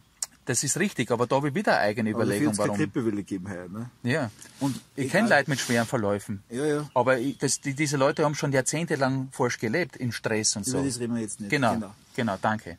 Weil da kommen wir wieder ins Ja, Tausendste. Danke. Und hab dort Karten gekauft natürlich und äh, ich bin von keinem einzigen Gast angeredet worden. Ich bin von einer einzigen älteren Dame, die, die mit ganz kleinen Schritten auf mich zugekommen ist und einen halben Meter vor mir stehen geblieben ist, weil mir denkt, du hast keine Angst vor mir. Nein. Aber sie wollte mich zurechtweisen. Ne? Aus der Gösen von den Ja. Hat sie gefragt, ob ich keine Masken habe. Ne? Sag ich, nein, ich, ich brauche keine. Ich sage immer, ich brauche keine, weil damit liege ich keiner an. Und äh, wer soll mich befreien? Sag ich immer, meine, von wem wollen sie eine Befreiung haben? Von meinen Eltern? Wer soll mir das erlauben? Ne? Außer ich mir selber. Genau. Und ich habe nur einmal das Erlebnis gehabt, äh, dass mir die äh, Wiener Linien ausgeschmissen haben. Ja? Der Security. Der, die, die Sicherheitskräfte, genau. Das ist deren Job. Genau, da habe ich, da hab ich dann mit ihnen natürlich äh, geredet. Ich habe dann sofort signalisiert, ich verstehe ihren Standpunkt. Das hat sofort einmal den ganzen Druck ausgeholt. Dann haben die eh angefangen, an meinen Standpunkt zu verstehen und gesagt, wir verstehen auch ihren. Der eine hat sogar gesagt, sie wollen nicht meine private Meinung zu dem Thema hören. Das heißt aber auch, dass er zerrissen ist innerlich. Dass er selber eine hat. genau. Genau. aber dass er zerrissen ist. Er musste ist es ja auch nicht tun und das andere denkt er sich. Ja, ja. Aber, Aber- genauso ist es mir gegangen mit ganz vielen Polizisten. Genau, das glaube Das ich. ist Ja. genau dieselbe Diskussion. Genau. Und es ist dasselbe Thema. Die Maske, die Person, das ist eine Symbolik im, auf einer neuen Ebene und, und da gehen wir jetzt durch. Und für mich ist das ein Geschenk an den anderen, dass ich ihn irritiere und ihm die Möglichkeit gebe, einmal nachzudenken, dass es auch andere Meinungen gibt Genau. und vielleicht andere Perspektiven gibt. Und man dabei cool sein kann. und cool sein kann und es Genau. passiert aber nichts. Genau. Du, du musst dir vorstellen, die haben es dann mit mir in den engen Lift eingestellt, weil sie haben mich ausgebegleitet aus der U-Bahn. Ich bin Ja. dann bei der nächsten eingestiegen, wieder bei der nächsten Ja. Station. Äh, Das ist mutig von denen. Ja, ich habe gesagt, ich hab gesagt äh, das? dass ihnen das eigentlich zugemutet wird, mit mir auf so engen Raum zusammenzustehen. Genau. Ne? Genau. Habt ihr da zweite Masken mit? Ja, ich habe gefragt, haben, haben Sie vielleicht eine Masken? Hat er gesagt, schau ich aus wie ein Maskenspender. Hat gesagt, schau ich aus wie ein Fulltrottel, dass ihr Masken er aufzieht. kommt Ne? der zweite aufsetzen, weil dann, dann supplementiert er ja deine. Ach so, okay. Ja. Nein, nein, das, er das ist eine Prinzipsache. Also wenn wenn sie aufziehen muss, muss er sie aufziehen. Ne? Eben. Und ich habe aber dann gesagt, sie haben, äh, sie haben sich freiwillig dazu entschieden, weil er gemeint hat, ja, ich werde sonst rausgeschmissen, wenn ich die Masken nicht trage. Sag ich, ja, aber das ist ja, Ihre Er Entscheidung. wird auch ausgeschmissen, wenn er es nicht tragt. Ja, und dann hat er gesagt, dann hat er gesagt äh, das ist eine Verordnung, die gilt für uns alle. Dann habe ich gesagt, ja, aber wer hat denn die Masken nicht in der Früh aufgesetzt? Sie oder der Herr Kurz? Naja. Weißt, das machen wir alle freiwillig. Genau. Wir haben dieses Gefühl der Ohnmacht, aber das ist nur, weil man uns das eingeredet hat, dass wir, wir, wir haben vergessen um unsere Göttlichkeit, wer wir das, wirklich das sind. hat der Dings einmal gesagt in irgendeiner Rede, werden schnell. Dass das Problem ist in Wahrheit das zivile Gehorsam. Ja, Nicht das zivile Ungehorsam. Das zivile Gehorsam ist das Problem. Weil der Mensch glaubt, er muss gehorsam sein gegen Sachen, wo, wo eigentlich keiner die schlüssig sich klingen, aber das Recht hat, wenn man es jetzt so sagen will, Mhm. dass er überhaupt den Ton angibt. genau. Ja. Da redet man einfach nicht mit, wenn es darum geht, ob mein Papa im Krankenhaus liegt und ich jetzt zu ihm fahre oder nicht. Mhm. Und egal, ob da jetzt eine Masken dazwischen ist oder nicht, nein, da redet man nicht mit, weil der Papa liegt da und ich fahre da jetzt hin. Und da hat keiner zum Mitreden. Ich meine, ich würde nichts sagen, wenn die Gefahr wirklich äh, offensichtlich real wäre. Wenn es wirklich, dass die Leute sterben, wie die fliegen, Ja, okay, aber da dann würde das sofort, sofort würde die Maßnahmen Da umsetzen. haben ganz viele Menschen zu Recht gesagt, ja, wenn der Herrgott will, dass ich stirb, dann Genau. sterbe ich halt. Und jemand, der in Angst Ja. lebt vor Corona, der lebt ja schon die ganze Zeit Genau, nicht wenn mehr. es sein soll, dass ich nicht sein soll, dann werde ich jetzt da, da wie wir reden miteinander, werde ich aufhören zum Atmen und Genau. einfach wegkippen, so wie der Fußballer da, der dänische. Ah, der dänische, ja. Ja, zack, dann werde ich einfach nicht mehr. Ja. Und genau so darf es sein. Und wann, wann will, jederzeit. Ich bin bereit. Aber genau aus der Liebe zu allem wird es so schnell nicht passieren. Weiß ich ja. Jetzt habe ich im Völkermarkt auch, äh, Völklerbruck so, also im Völkermarkt, ja. Ich habe Völkermord verstanden. ja, das, auf das kommen wir auch noch zum Sprechen. Nein, das lassen wir halt, das Thema, das interessiert mich jetzt nicht. Ja, genau. Aber das Thema Schuld muss ich auch schon sagen, dass das bei Corona auch mitschwingt. Das ist ja wohl im Zeitgeist drinnen. Also nicht so, wie du im letzten Gespräch gemeint hast, das äh, sollte man nicht ansprechen, was nicht mehr im Zeitgeist schwingt. Ne?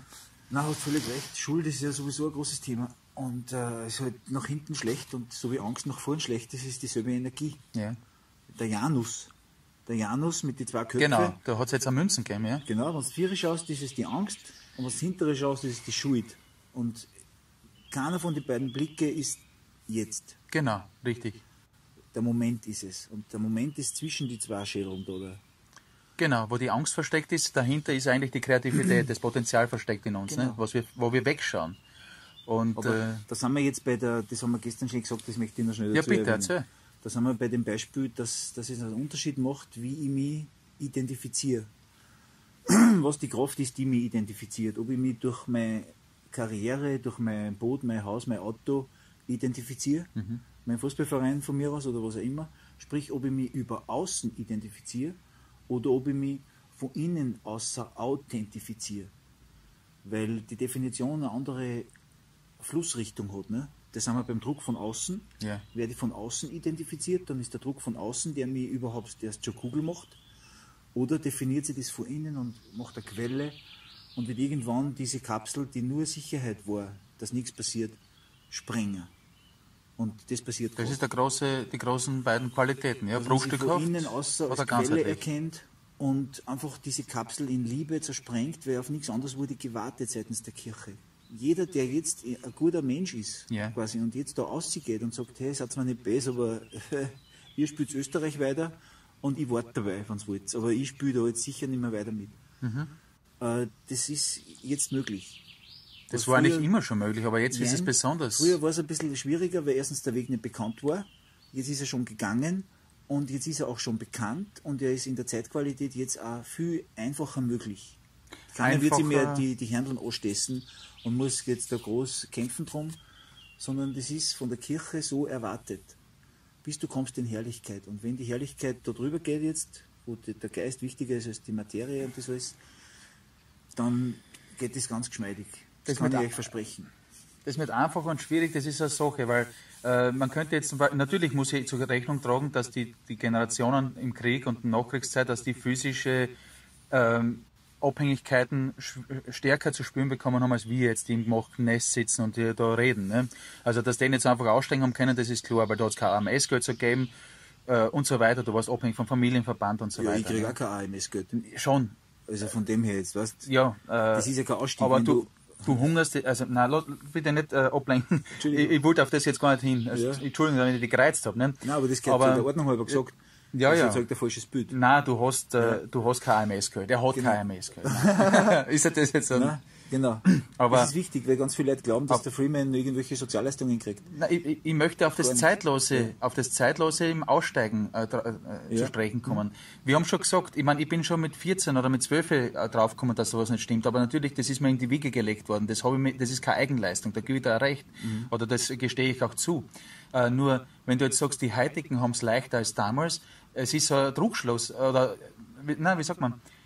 Wenn du, wenn du, wenn es dir gut geht, empfindest du oft kein Be- Bedürfnis, über den Ernst des Lebens nachzureden. Mhm. Hast du den Ernst des Lebens, musst du nachdenken, aber bist derart vereinnahmt von der Situation, der Ak Akutität, das, Mhm. Ja. genau, Ja, verstehe dass, du inadäquat handeln wirst. Das heißt, äh, es ist natürlich leichter in Friedenszeiten, also während du Ruhe hast, über ein Problem nachzudenken und prophylaktisch schon äh, eine Lösung zu finden oder es überhaupt zu vermeiden. Ähm, aber es ist genauso schwer in Friedenszeiten über das nachzudenken, weil du keine, keine, keine Dringlichkeit empfindest. Also es ist so oder so schwierig und einfach. Also ich will da irgendwo den Zeitfaktor ausholen, dass du sagst, heute haben wir es leichter als damals. In einer gewissen Weise stimmt's, aber es ist in einer gewissen Weise auch wieder schwerer geworden. Früher war alles anders, sagt die Oma. Ja, ja, das stimmt. Aber irgendwie habe ich es so nicht gemeint, wie es das du jetzt Okay, gesagt hast. okay, dann Sondern ich meine damit, dass, dass die Zeitqualität jetzt will, dass diese Masken fallen. Auf alle Ebenen. Okay. Egal ob jetzt als Mund-Nasenschutz oder als Verkleidung, dass, dass du eine gewisse Falschheit gelebt hast, die jetzt einfach auffliegt und Ja, solche Sachen. ja. Die Masken fallen gerade. Ähm, und das lässt sich nicht verhindern. Das Unvermeidliche heißt so schön in der Matrix. Das passiert gerade.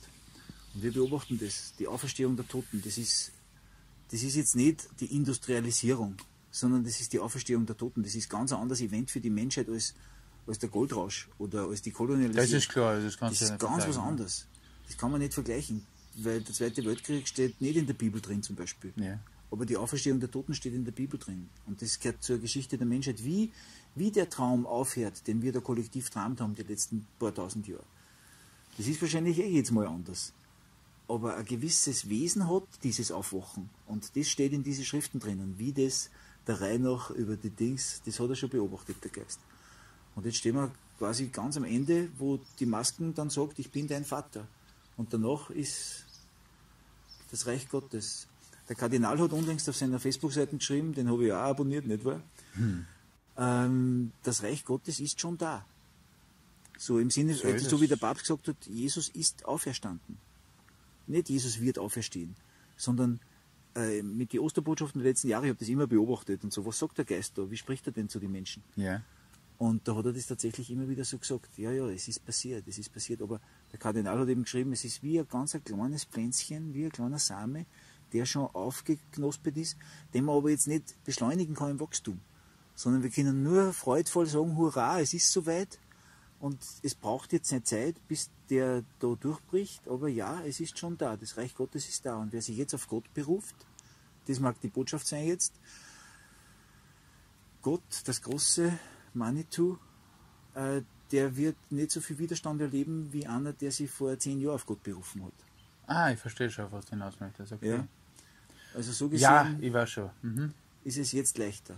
Ich verstehe. Es ist eine gewisse Vorarbeit schon gemacht. Die Vorhänge werden durchsichtiger oder wie man es einmal Ja, bezeichnet. Mhm. genau. Das, Genau. Die, die Morgendämmerung wird schon sichtbarer als nur vor Dings und dieses An, diese Anwesenheit von dieser Güte macht jetzt diesen Saturn, der da herrscht auf dem Planeten jetzt noch. Ja. Die Welt ist eine saturnische, in Klammer satanische Welt. Mhm. Und dieses Saturnprinzip wird zurücktreten, wenn das Vaterbewusstsein wiederkommt, weil ja in der griechischen Mythologie der Saturn, der Kronos, dem Uranus damals den Penis angehockt hat und dann das Kommando übernommen hat. Das ist so, wie wenn sich der Papa schlafen legt und den Wecker aktiviert. Chronos, Zeit, du Ja. übernimmst jetzt, bis ich wieder munter bin. Und ich programmiere sogar deinen Leuten. Ich kommandiere dich, aber ich schlafe jetzt. Aber ich muss sagen, wir haben schon mehrere Wecker gehabt, Naja. die uns aufwecken halten sollen. Und wir haben den Wecker eigentlich immer wieder angestellt. Snooze heißt das und, und zusammengeschlagen sogar. Und ich war selber eigentlich äh, so eine Art Weckerfunktion, finde ich. Und auch du, die dann teilweise nicht ernst genommen verlacht oder so ist. Aber ich, ich sage, äh, Dazu es- ergänzen nur schnell Ja, gesagt, bitte. der Penis ist ja wieder da, deswegen habe ich das jetzt erwähnt. Dass der Penis ja. Du meinst äh, in dem Suezkanal. Ähm, Genau, also vor 13.000 Jahren, nach meiner These, war halt jetzt diese Entmannung des Uranus gewesen, des Gottvaters. Ja. Kronos übernimmt, die Zeit übernimmt als Wecker für die Hälfte von, der, von dem Kreis, für Mhm. die dunkle Phase.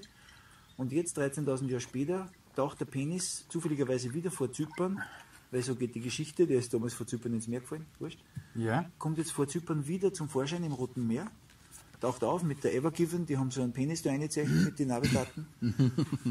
Und dem Thomas Schmidt wird nachgesagt, dass er zweieinhalbtausend Penisfotos am Handy hat und was ich was. Da gibt es überall so Penis-Effekte, was du denkst, wieso sehe ich gerade.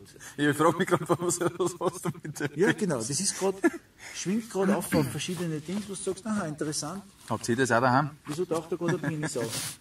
Und das ist das, wo jetzt die Waage erreicht ist, wo im Hintergrund steht, ich bin dein Vater, erinnere dich, ich bin dein Vater Luke. Ja. Ver erinnere dich oder verbrüdere dich mit mir. Und äh, da schauen wir zu gerade. Von dem her haben wir die Waage jetzt durchschritten. Und wieder ein Grund mehr, wenn das jetzt schon passiert ist mit dem Penis, dann ist er ja schon da. Dann kann man sich ganz anders auf ihn berufen, als wenn man hofft, dass er bald kommt. Ja, aber was mache ich jetzt mit, der, äh, mit dieser Erzählung, bevor ich zum nächsten Punkt gehe, äh, im Alltag? Äh, wenn du jetzt sagst, eigentlich sagst du damit wieder, alles ist gut, vertrauen dürfen wir und äh, jetzt Ja. könnt ihr ohne Masken einkaufen gehen oder nicht? Oder was soll ich jetzt machen mit dieser In Information? Liebe immer, ja, ja, ja, auf jeden Fall. Na, aber Genau. was, was willst du damit jetzt sagen, außer dass alles gut ist? Das wissen wir ja mittlerweile. Ja, nur einmal eine Bestätigung, dass es sich tatsächlich um die Auferstehung der Toten Okay, handelt. okay. Ja, genau. Und im Endeffekt, dass wenn du das in Liebe machst, was du machst, dass dir nichts passieren kann, weil du geschützt bist von dieser Qualität, dieser Mhm. Dimension, die ganzheitlich ist. Aber die kann man sich natürlich nicht einreden. Das musst du auch wirklich verkörpern, das spürt man, glaube ich, auch. Ne? Du hast dann in dieser Liebe keine Feindbilder zum Beispiel mehr. Genau. Du hast, äh, Ja. ja, du schaust dich deine Ängste an, weil du weißt, die Liebe in dir ist größer als diese Angst. Die, diese Angst wird verbrennen oder so, ne? oder was auch immer, äh, schmelzen oder wie auch immer. Ne? Genau. Ähm, du bist das Licht der Welt, ne? Genau. Über das würde ich auch noch gerne reden, über diese Kultur der Wertlo der, wo der Wert äh, des Menschen nicht per se zu erkennen ist, dass du sagst, ich bin der Wert, mit meiner Inkarnation auf dieser Erde bin ich bereits alles, was ich sein kann. Und stattdessen vergessen wir das, indem wir ein künstliches Wertesystem uns überstülpen lassen, indem das staatliche System oder gesellschaftliche System sagt, du bist nur was wert, wenn du arbeitest und eine Leistung und eine Funktion erfüllst. Ich glaube, dass das ein ganz großer Diskrepanzpunkt ist, wo du vergisst, Ja. wer du bist. Und auch von einer Quellidentität in eine Bittsteller- oder Verbraucheridentität gedrängt Ja, ja, wirst. genau. Aber darf ich noch ganz kurz die Das Fragen... sind, das sind die zwei Seiten der Medaille. Ja, ja, gesagt. genau. Mm, Darf ich dich fragen, wie du die Demos in Wien oder in ganz Österreich wahrgenommen hast? Warst du bei einer Demo? Die Galionsfiguren wie Dr. Rösch, Dr. Schießler, äh, Martin Ruther, äh, die FPÖ auch mit dem Kickel, die da sehr stark als Honigtöpfchen wieder agiert. Wie, wie hast du das alles summa summarum wahrgenommen? Ich habe das beobachtet, äh, freudestrahlend, im Zusammenhang dessen, dass die meisten davon geschrien haben, wir sind das Volk. Und es kann sich nur um ein Missverständnis handeln, wenn ich den Rechtsverzicht pflege und mich nicht mehr zu Österreich zu als Staatsverweigerer geht das nicht, da kann ich nicht hin. Verstehst du mich? Ich kann nicht äh, als Raupe hinstellen mich und sagen, ich bin ein Schmetterling. Also du meinst das Menschenvolk, dann stimmt sie wieder, wenn du sagst. Aber wenn du sagst, wir sind das Volk Gottes, Ja, haben sie völlig recht. Genau. Und so war es natürlich auch. Der Heilige Geist hat gesagt, wir sind das Volk Gottes. Wir sind ja nicht eichere Schafe. Wir sind, nur er hat es nicht gewusst, wie er demonstrieren gegangen ist. Er glaubt, er sagt, wir sind die Österreicher und die Macht geht von uns aus. Ja, ja, das Recht geht von euch aus. ich weiß schon. Ja, du, Du meinst, kennst das. ja, ja, sicher. Und bitte herzt das so. Das ist das Einzige, was wirklich logisch Sinn macht, diese Deutung dieser Worte. Weil, wie gesagt, das steht im ersten Satz, die Demokratische Republik sagt Ja. schon, dass das Volk dabei ist. Aber das ist ein anderes Thema. Na, das hast du schon mehrmals äh, Genau. erwähnt. Ich glaube, da ist keine Unklarheit jetzt darüber, Genau. wie du das meinst. Also wenn wir demonstrieren und sagen, wir sind das Volk, kann nur das Volk Gottes gemeint sein, auch wenn sie es selber nicht wissen. Und da ist für mich wieder klar gewesen, aus eschatologischer Sicht, hurra, eh klar, da gingen wir schon. Und das ist wieder Ausmarsch aus Ägypten. Ne? ja. Und wenn der Ausmarsch aus Ägypten passiert, dann ist ja das Volk nicht mehr da. Wo hat denn dann der Pharao sein Volk? es, es sitzt nicht mehr im Stadion, es sitzt nicht mehr im Theater, es sitzt nicht mehr in der Kirche, es sitzt nicht mehr in der Schule. Ja, wo ist denn das Volk hin? Im geistigen Sinn ist das Volk ausmarschiert aus Ägypten. Nein, eigentlich sind sie in Wien herummarschiert und haben von der Regierung was gefordert, nämlich mehr Privilegien oder wieder Freiheit. Sie sind geistig geflüchtet. Würde ein Ja. göttliches Volk von jemand anderem was fordern, was es sich nur selber geben Ja, kann? das ist eben genau wieder der Unterschied zwischen dem, was vielleicht im Poeten vorgegangen ist, wie er es geschrieben hat, das Theaterstückel, und was die Schauspieler daraus machen. Okay. Ja, das kannst du ja nicht übel nehmen, sie können ja nicht wissen, wie er es denkt hat. Sie können es nur so gut spielen, wie sie es verstehen. Und Das das, ist klar, das ja. passiert da gerade. Also wenn ich, äh, als ich an die Demonstrationen, äh, also wenn ich jetzt an das denke, und die wollen ja natürlich damit etwas bewirken, ne? nämlich den alten Zustand wieder, äh, wieder herstellen. Ne? Ähm, ich denke da immer an den Spruch von Krishnamurti, der wirklich wunderbar äh, für mich passt. Die Eingangsqualität bestimmt das Resultat. Ja, Und wenn ich jetzt an das Motiv für diese, oder die Eingangsqualität oder Eingangsenergie dieser Demos hernehme, dann ist es, salopp gesagt, Unzufriedenheit. Weil sonst gange da keiner hin, wenn er, nicht, zuf- wenn er zufrieden wäre. Und wenn Unzufriedenheit am Anfang der Demo steht, weiß ich schon, was am Ende rauskommen wird. Nämlich nicht Liebe, nicht Ordnung, nicht Zufriedenheit, sondern Unzufriedenheit. Ja. Auf einer anderen Ebene natürlich transformiert, aber es bleibt Unzufriedenheit. Ja, Also, nichts anderes her, wo soll es herkommen in der Rechnung? genau, Ja? Von den Genau. Zutaten Unzufriedenheit sind, genau. was soll unten raus? So ist es, danke. Ja, genau, das, das kommt mir sofort in den Sinn und damit ist für mich eigentlich das Ja. Demo, die, die Frage, bringt Aber- es was, ist für mich erledigt, weil derjenige, der es braucht, der wird dorthin gehen, okay? Genau, das ist ein Zeichen des Geistes. Ja, okay. Wo Aber es braucht sich keiner Hoffnung machen, dass das irgendwas lösen wird, weil die Lösung liegt in dir drinnen. Du Genau. brauchst auf Nein, keine Demo Sym- Das sind gehen. alles nur Symptome. Wir sind ja nur Symptome, was da passiert. Gerade wenn es die ganze Menschheit betrifft, wenn es den ganzen Planeten betrifft. Weil es gehen ja nicht nur in Wien spazieren, sondern die gehen ja überall spazieren. Gegen die Regierungen, gegen die Maßnahmen, ob das in Brasilien ist oder im Kongo oder wurscht. Die gehen überall dagegen und das ist der ganze Zeitgeist, nicht nur die Österreicher, die sogenannten. Also das betrifft schon alle.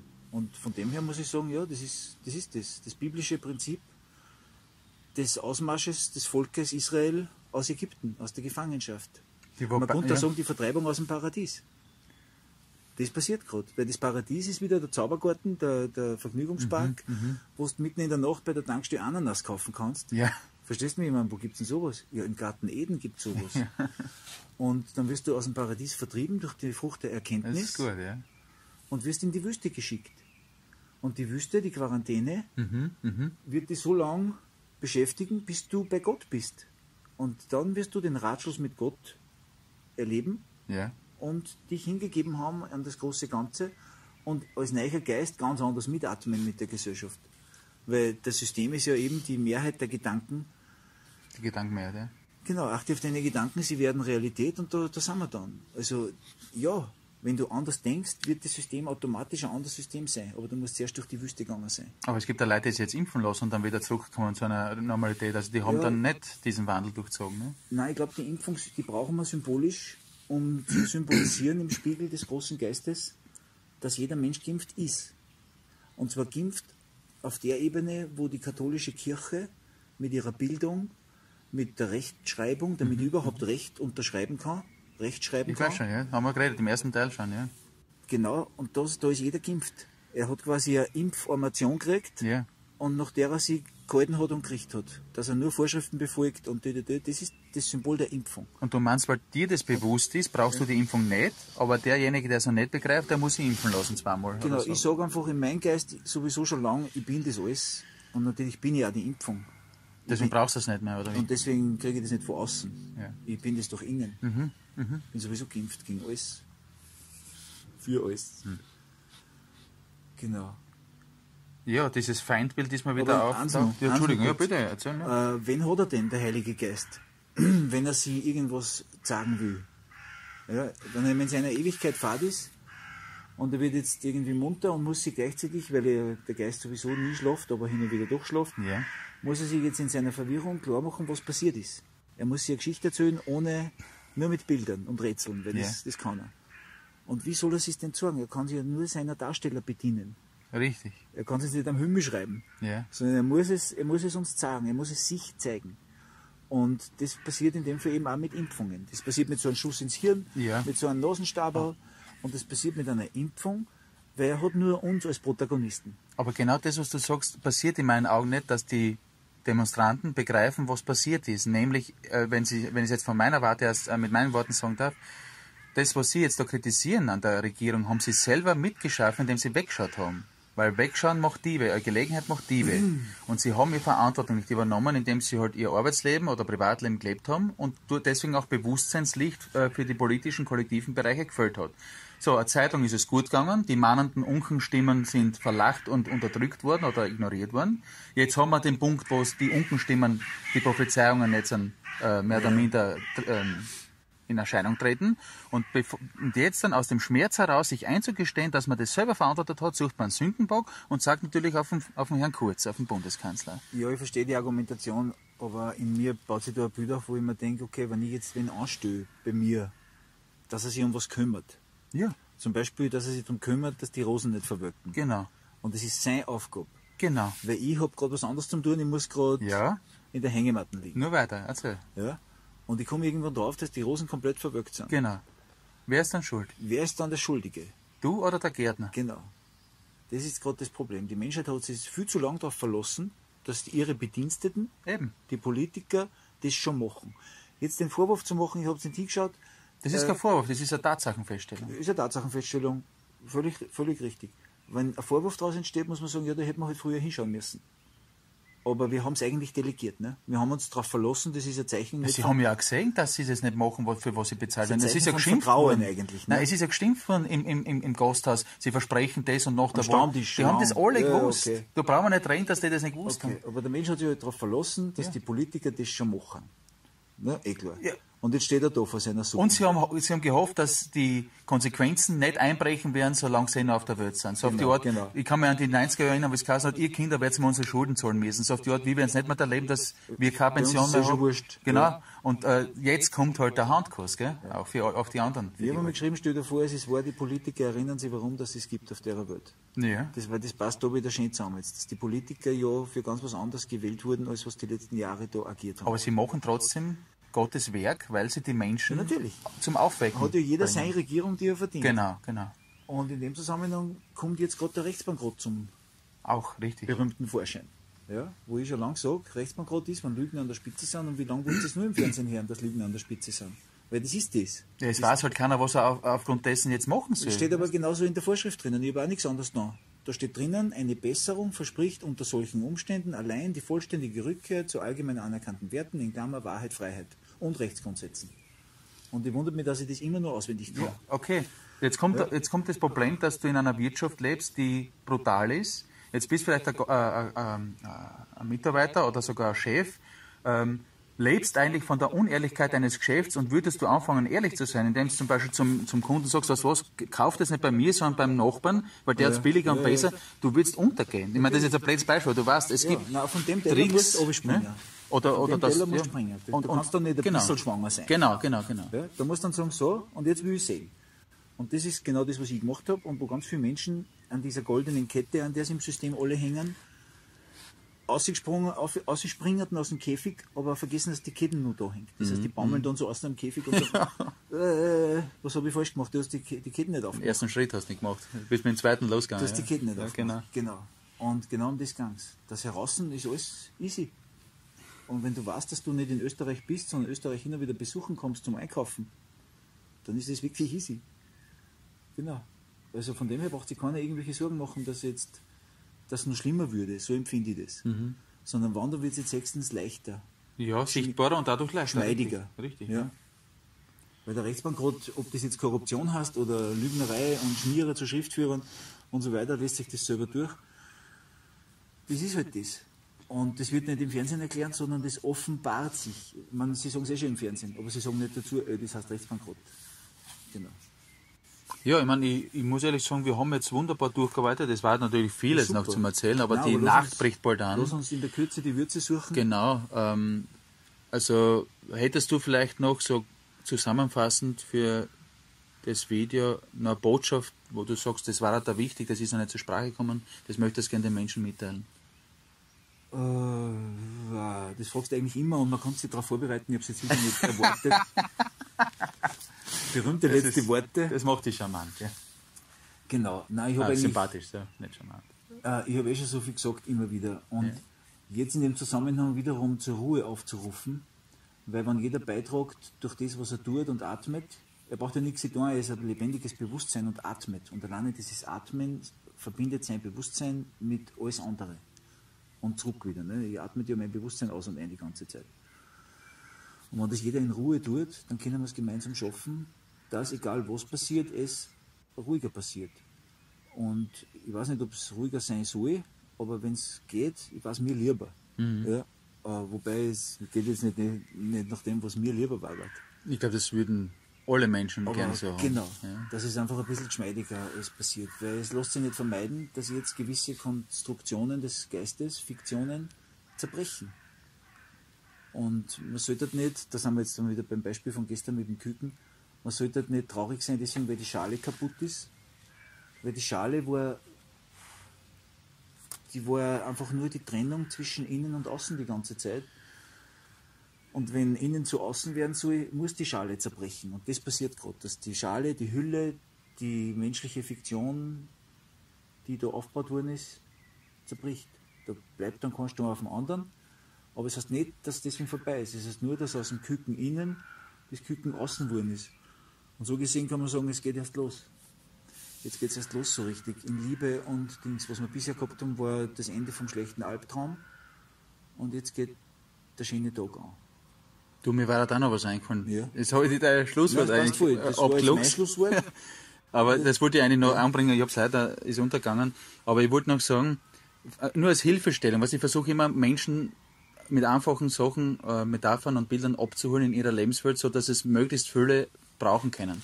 Die meisten, ich, wollte, ich habe ja mit dir geredet, warum kann der Mensch so schwer seine Lebenssituation annehmen? Die meisten hadern ja mit ihrem Leben, sind unzufrieden und äh, wissen aber nicht, was sie falsch machen. Äh, meinen Beobachtungen zufolge gehen wir immer an Kompromisse ein, wenn wir handeln. Äh, zum Beispiel, wenn du eine Partnerin oder einen Partner äh, nimmst in dein Leben, dann weißt du genau, dass der negative Eigenschaften hat, aber du nimmst ihn hauptsächlich wegen der positiven. Du musst aber bewusst sein, dass, dass du die negativen mitnimmst, also zum Beispiel Habgier oder Eitelkeit, was es ja immer ist.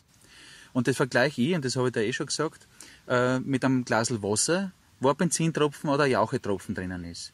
Das heißt, würdest du das Glas trinken und argumentieren, es sind ja 99,9% Anteile von Wasser drinnen und ein Promille äh, Jauche oder Kontaminierung, oder würdest du sagen, war das Shitty weg? Und würdest du das deinen Kindern auch so beibringen oder würdest du sagen, du, reines Wasser? Mhm. Würde ja jeder sagen, reines Wasser.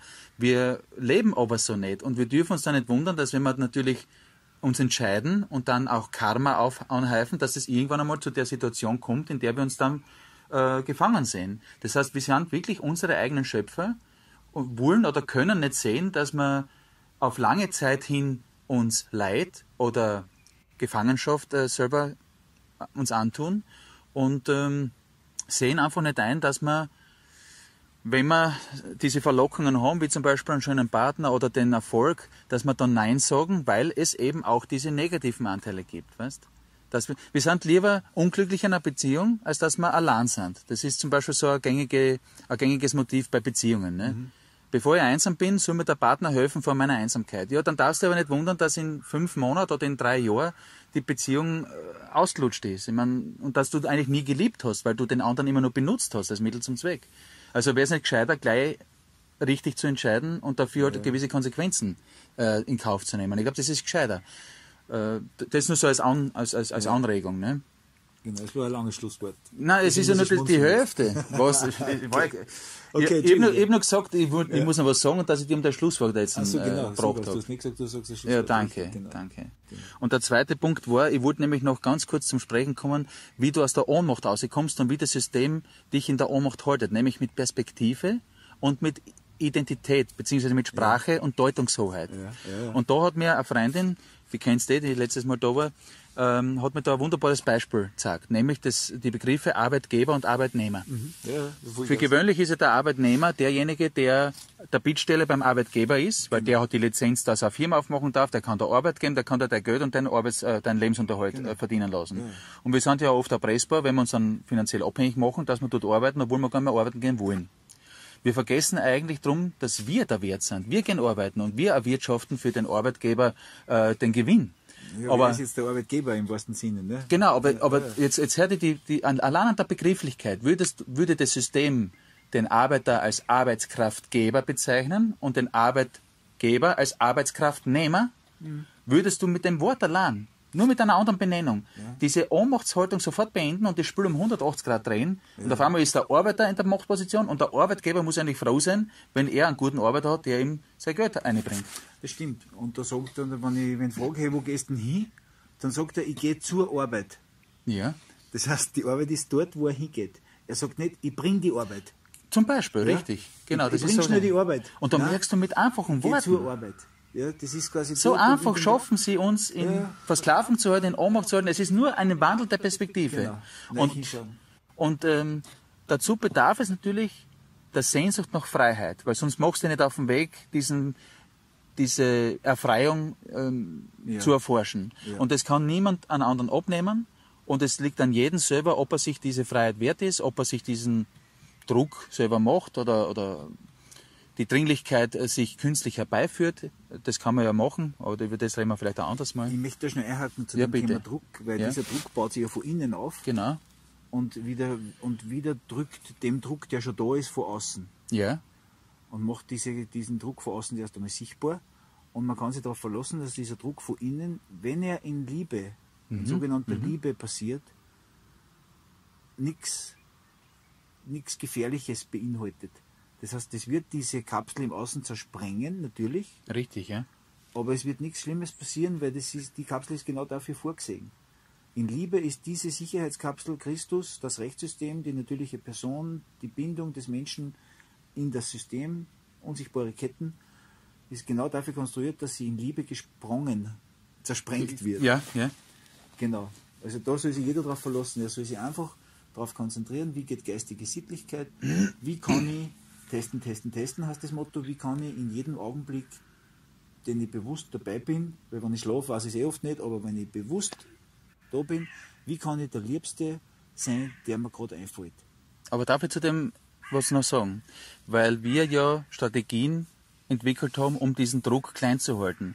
Äh, indem wir uns eben von einem Problem abkapseln oder es betäuben oder uns ablenken und beschäftigen. Damit äh, erstickst du eigentlich das innere Feuer, das diesen Druck ja erzeugt. Wir machen das ja tagtäglich eigentlich. Äh, stattdessen, dass wir hinschauen, tut was weh tut, nämlich auf unsere Ängste, auf unsere Schamgefühle, auf unsere äh, Schuldgefühle. Wo, wir müssen eigentlich etwas gegen unsere Intuition machen, um frei zu sein. Das, ich habe mir nämlich immer gefragt, warum die Menschen seit Jahrtausenden das nicht schaffen und hunderttausend Lösungsansätze, Kommunen bei den Hippies oder äh, Ashrams oder alles hat der Mensch schon probiert. Aber er, er schafft es nicht. Dann denkt man, woran liegt das? Naja, er muss was tun, was gegen seine Intuition ist, nämlich wohin schauen, wo er nicht hinschauen will, nämlich dort, was weh tut. Und damit kannst du den Druck in dir auf natürliche Weise derart erhöhen, dass es zu diesem Zerbrechen dieser Ego-Schale und dieser, zum Zerreißen der Ketten kommt. Ja, und ich glaube, dass das jetzt für jeden ansteht. Ja, Ja, also das sind jetzt nicht so individuelle Erscheinungen, Erweckungen, sondern das steht jetzt für alle an. Natürlich. Und deswegen, je länger man sich dagegen wehrt, oder flüchtet oder angreift. Das sind beides Genau. Bewegungen weg vom Problem. Genau. Und, das, und die, der Krishnamurti hat schon gesagt, die Bewegung ist Teil der Falle. Hin zum Problem als Angriff oder weg als Flucht, Ja, das ja. ist Teil der Falle. Aber ruhig zu bleiben, im Frieden zu sein mit, mit dem, was ist. Still zu sein mit dem, was ist. Das ist die Kunst. genau, und der Golfball, weil das gerade in mir hochkommt, das Beispiel, okay. es macht sehr wohl einen Unterschied, wie weit weg der Golfball vom Loch ist, wie fest der Schlag wird. Äh, du meinst, der Schlag hängt davon ab, die Kräftigkeit, wie weit er weg ist? Ja, oder? genau, also der Golfball kriegt der Watschen, die ist abhängig davon, wie weit weg von der Quelle, dass er, Gutes Bild, ja. Ein Ja. schönes Bild. genau, also die Quelle war das Loch, Genau, zurück zur Quelle genau. und der Golfball entscheidet jetzt quasi, wie weit weg von der Quelle, dass er sich hinlegt. Und dann kommt die Watschen. Das heißt, es hat, Ich verstehe schon. es hat jeder in seiner Entscheidung jetzt, wie weit von der Quelle, dass er sich hinlegt. Das hast du schön gesagt. Ja. Lass mir das als Schlusswort Ja, gelten. bitte, danke. Danke. Papa, grüß euch. Euch. Na gut, dann machen wir noch einen kleinen Nachschlag. bin total verschwitzt. Das ist mir jetzt peinlich. Ja, okay, das sieht man nicht. Genau. Haben wir noch einen Nachschlag zu dem Video, das wir nie machen wollten? Nachdem uns gestern peinlicherweise der Akku ausgegangen ist, aber es war eh schon fast geil, Ja. haben wir jetzt nur einen kleinen Nachschlag. Genau. Bitte sehr, ich ist dabei mir orange. Genau, lass mich mal kurz erzählen. Ähm, mir ist noch eingefallen, ich würde noch gerne so drei, drei Punkte zur Kirchen ansprechen. Äh, das eine ist, auf meiner Erfreiungstour 2021 habe ich natürlich auch versucht, mein Schamgefühl zu überwinden und bin einmal kurz auf Bahn gegangen ohne Unterhosen, da in Oberösterreich. Ich habe es nicht lang gemacht, damit die Oberösterreicher nicht neidisch werden. Aber ich finde es spannend, eben wie Schuld entsteht. Äh, nehmen wir mal das Beispiel der Sexualität her. Ne? Eigentlich ein natürlicher Aspekt des Menschseins, den die Kirche verurteilt und verteufelt hat. Aus was für einem Grund auch immer. Und die Diskrepanz entsteht dann, wenn du diese Schuld zu glauben beginnst. Schau, da haben wir wieder die Katze. Äh, diese, dieser Konflikt bleibt aber aus, wenn du erkennst, dass das gar keine echte Schuld ist. Das heißt, erst der Glaube an diese Schuld, dass du sündigst, wenn du sexuelle Freiheiten äh, lebst, äh, fängt erst an, aus dem ein Problem zu machen. Das heißt, in dem Moment, wo die Kirche eigentlich ein Schuldgefühl bei der Sexualität äh, erzeugt hat, ähm, fangst du an, etwas zu problematisieren, was gar kein Problem ist. Das heißt, du kannst ja die Sexualität als Mensch ja nicht äh, entfernen. Das haben, das, es hat Mönche gegeben, einer ist sogar zum Krishnamurti damals gekommen, der hat sich richtig den Penis abgeschnitten. Da sind wir wieder bei dem Stichwort. Weil seine Triebe einfach ihn übermannt haben. Und als er gesehen hat, was er da gemacht hat, war er komplett verzweifelt, aber man, natürlich hat er es nicht rückgängig machen können. Gibt es einen Film, einen Film mit Gerard Depardieu, ganz einen coolen französischen Film, so einen Underground-Film, okay. wo er das auch tut. Wirklich? Mhm. Und da merkst du eigentlich, wie tragisch eigentlich dieser Bewusstseinszustand sein muss, in dem er sich da befindet. Ja. Und die Lösung liegt eben nicht, dieser, diesem künstlichen Wertesystem sich anzupassen und Gewalt auszuüben auf sich selber. Das passiert ja mit dem wie, wie nennt man das, was die Priester haben? Die äh, Zölibat, genau. Das ist eigentlich eine Gewaltausübung auf den Menschen, sondern indem du erkennst, dass das gar nichts Böses ist. Dann fangst du an, wieder das zu integrieren und im Frieden zu sein. Ähm, vielleicht wurde es deswegen unterdrückt oder missbraucht, weil würde Sex erweitern mit irgendwelchen Frequenzen, ja. kommt unter anderem außer der Klang Selbsterkenntnis. Mhm, das könnte weit hergeholt trotzdem, ja. Natürlich weit hergeholt. Aber Selbsterkenntnis, wenn ich da was verkaufe, wenn ich was verliere, bleibt Sex über. Mhm. Das heißt, würde ich keinen anderen Weg zur Selbsterkenntnis finden, bleibt mir immer nur Sex. Deswegen ist das die stärkste Kraft im Universum. Selbsterkenntnis. Das ist da drinnen versteckt. Der Schöpfungsakt, ja. Das Zeugen genau. von neuen Leben, ja. Es ist eigentlich spannend, wie das eigentlich missbraucht wurde, beziehungsweise problematisiert wurde. Hm. Ja, das war das, was ich noch äh, anbringen wollte. Einfach so zum Nachdenken ein bisschen mhm. über die eigenen Schuldgefühle, ob die nicht auch vielleicht Illusion sind und man sich eigentlich nur künstlich an Druck aussetzt oder unter Druck setzt, der nicht notwendig wäre. Ja, lass uns da das Beispiel nur einhakeln, speziell für die lieben Zuhörer ja. und Zuseher, weil der Akku ja wieder voll ist. Super. Ähm, dass ich auch sehr wohl schuld sein kann an der Freude eines Menschen. Genau, der Urheber. Genau, genau, Schuld ist so behaftet mit Negativen, aber wenn ich wem einen Strauß Blumen schenke und der freut sich voll, dann ist das meine Schuld. Und so gesehen ist Schuld auch wieder was Neutrales, nur halt schlecht besetzt, aber immer nur ein Konzept in der Vergangenheit. Ja. Und das holt uns weg aus dem sogenannten ewigen Moment, der wir sein dürfen, mit der, mit der Quälerei, dass wir in der Lage sind, dass wir nach vorne und nach hinten denken können. Das, das macht uns ja quasi zu schaffen. Vorne ist die Angst, hinten ist die Schuld aber eigentlich spielt sie immer alles jetzt ausschließlich im Moment ab, im Augenblick. Und Angst und Schuld halten uns da draußen. Genau. Man würde sagen, nicht Schuld, sondern Verdienst. Es ist mein Verdienst, jemand anderen Freude zu machen. Aber wie du es richtig sagst, das Positive, für das man gelobt oder berühmt wird, oder das Negative, für das man verurteilt oder verfolgt wird oder bestraft wird, hat beides eine Wurzel, nämlich ich bin Urheber einer Handlung. Mhm. Genau. Und da, daher kommt vielleicht auch, oder rührt vielleicht auch her die die Angst, tätig zu werden. Aus Angst, irgendwas falsch zu machen, mache ich lieber gar nichts. Aber es gibt ja auch die Begehung durch Unterlassung, die ja da.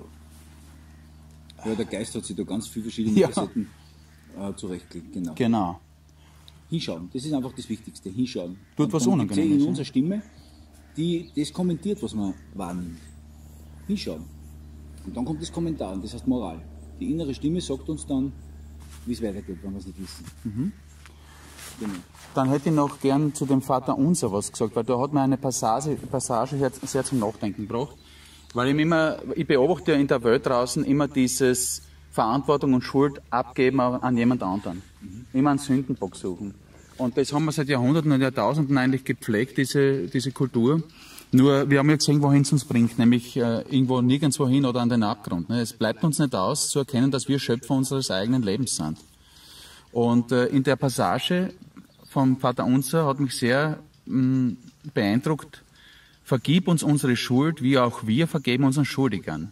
Das bedeutet, wenn ich mich nicht mehr schuldig fühlen möchte, dann kann ich einerseits meinen Gläubiger nicht zwingen, dass er mir vergibt. Das heißt, da ist eine gewisse Abhängigkeit, eine gewisse ähm, Unterwürfigkeit gegenüber dem Gläubiger. Ne? Das ist nicht mehr auf Augenhöhe. Da bin ich jemand, der buckeln muss und vielleicht sogar Sühne und Buße tun muss. Mhm. Ich kann ihn bitten darum, dass er mir vielleicht äh, vergibt. Aber in letzter Konsequenz musst du dir selber vergeben. Und was du sehr wohl machen kannst, ist deinen Schuldigern vergeben. Das kannst du aktiv machen. Da möchte ich einhaken jetzt, weil das ist der Gedanke, der mir dazu gekommen ist. Mhm. Wenn es heißt, vergib uns unsere Schuld, wie auch wir vergeben unseren Schuldigern, dann kann das ein poetischer Ausdruck für ganz eine andere Botschaft sein. So gedichtlich verformt, aber es könnte ja heißen, mir geschehe, so wie ich die anderen behandle. Genau. In dem Ausmaß, so wie ich die and den anderen vergebe, so wird mir vergeben. Genau. Und damit ist es nicht mehr das Außenprinzip, genau. sondern es ist das Spiegelprinzip. So wie ich mich dem Umfeld gegenüber verhalte, so geschieht mir. Genau. Was du das, siehst, wirst du ernten. In, das steckt in der Floskel drinnen. Dieses Einheitsbewusstsein kommt mir da wieder du hoch. Du vergibst mir meine Schuld, so wie ich in der Lage bin, den anderen zu vergeben. Und wenn ich es ganz schaffe, ist er mir ganz vergeben. Genau, und dann ist Schuld nicht existent. Genau. Aber es zeigt halt auf, dass der erste Schritt bei mir liegt, weil ich, die meisten warten, bis die anderen sich ändern. Das ist die Erkenntnis, dass es tatsächlich ausschließlich um uns geht. Ja. Und von innen heraus sieht diese Kapsel neu entfaltet, wie das Küken, das schlüpft. Da kümmert sich keiner von außen um irgendwen anderen, sondern das entsteht von innen.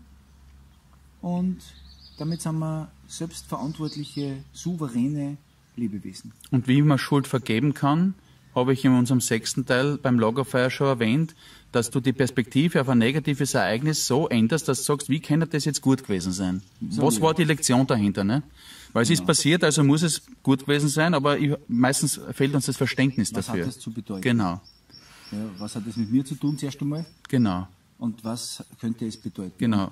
Ich, sag, ich habe dann für mich diese, diese Halterung gefunden, wie klingst du? Sag mir deinen Namen, sag mir deinen Klang mhm. und ich kann darüber meditieren, was es mir zu sagen hat. Mhm. Das hilft mir schon massiv, muss ich sagen. Das heißt, du fängst dann auch an, deine Feindbilder abzulegen, weil du erkennst, dass du. Es sind, gibt ja keine Feindbilder mehr. Es sind dann nur mehr Klänge, wo ich mich dann überlege, wo ich mich äh, frage, wo kommst du her, Klang? Wo bist du in mir? Mhm. Wo ist dein Spiegel? Und in der Meditation darüber heilt sie das ja eigentlich schon weil der Geist die Zeit kriegt, dass er da hinschaut und äh, so wie ich mein Leben erlebe, bestätigt ist das. Ja. ja. Also diese Täter-Opfer-Rolle, Spiele, dass man da aussteigt, ich meine, das ist an jedem selbst überlassen, wie sehr er sich sehnt nach Frieden, weil man vergiftet sich mit diesen Emotionen des Verurteilens ja in letzter Konsequenz eh noch selber. Genau. Das kann man eh beobachten, ne? wie das ist, wie sich das anfühlt, wenn man Groll hegt und so weiter. Oder sich als Opfer mit ihm bemitleidet. Dann wollte ich noch auf dieses Jesus-Prinzip zu sprechen kommen, wo, wo ich nur sagen wollte, dieses, äh, so wie es uns die Bibel eben erzählt hat, er hat Menschen geheilt, er ist gekreuzigt worden und so weiter.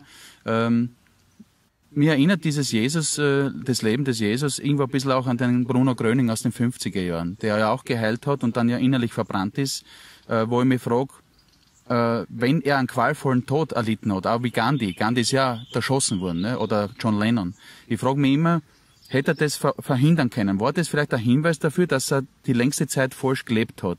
Und wenn man einen Fehler finden wollte, nach dieser Betrachtungsweise, dann könnte man sagen, Jesus oder Bruno Gröning hat den Menschen durch die Heilung der Krankheit ihnen die Lektion abgenommen und hat es auf sich gebürdet. In, in dem Sinne stimmt es ja, dass er für die Sünden der anderen gestorben ist.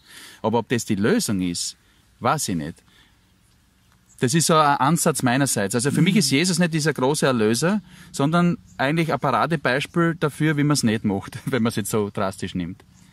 Ich würde Jesus nicht als Typ mir vorstellen, ja. sondern Jesus nur als, als Liedl, als Schwingung. Als Schwingung, ich weiß, als Bewusstseinszustand. Als, Klang, ja. als, als, Ton, als, als Duft.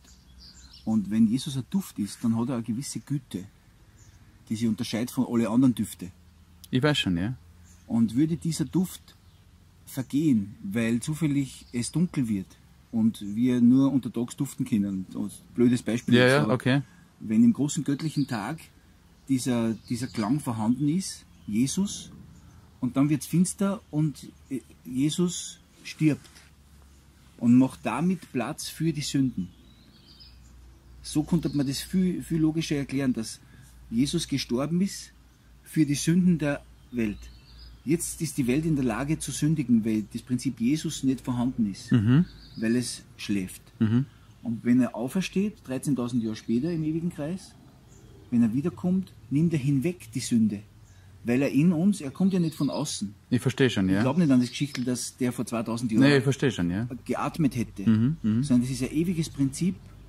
Die zwölf Apostel sind unsere zwölf äh, Prinzipien, die zwölf Nervenstränge, die aus dem Haupt ausgingen, oder die zwölf Häuser im Sternzeichenprinzip. Das ist die zwölf, die uns begleitet. Und äh, so gesehen passiert das irgendwann in Ewigkeit, nämlich dann, wenn alle Menschen wieder munter werden. Dann kommt diese Güte Jesus wieder zum Vorschein. Und in Jesus Christus gehen wir jetzt quasi da da aus, weil wir sind ja in Christus neu geboren, mit der natürlichen Person. Und dieses Rechtsschinackel Christus, Christus ist die Welt, wartet auf Jesus. Das ist richtig. Jesus wird auferstehen, und zwar von innen, der eingeborene Sohn, nicht der von außen klingende Sohn. Der eingeborene Sohn, der von innen klingt. Ja. Und wenn das, das immer lauter wird, heißt der Moment, wo äh, sozusagen die Schwingung von innen die Kapsel durchdringt, Jesus Christus. Ich verstehe dich, ja.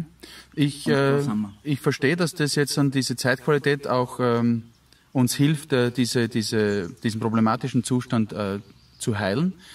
Nur äh, unterscheiden wir uns dadurch, dass ich eben beobachte, wie Menschen diesen Impuls auch unterdrücken, betäuben oder verdrängen können. Das heißt, das hinauszögern können. Ne? Dreimal wirst du mich verleugnen. Ja.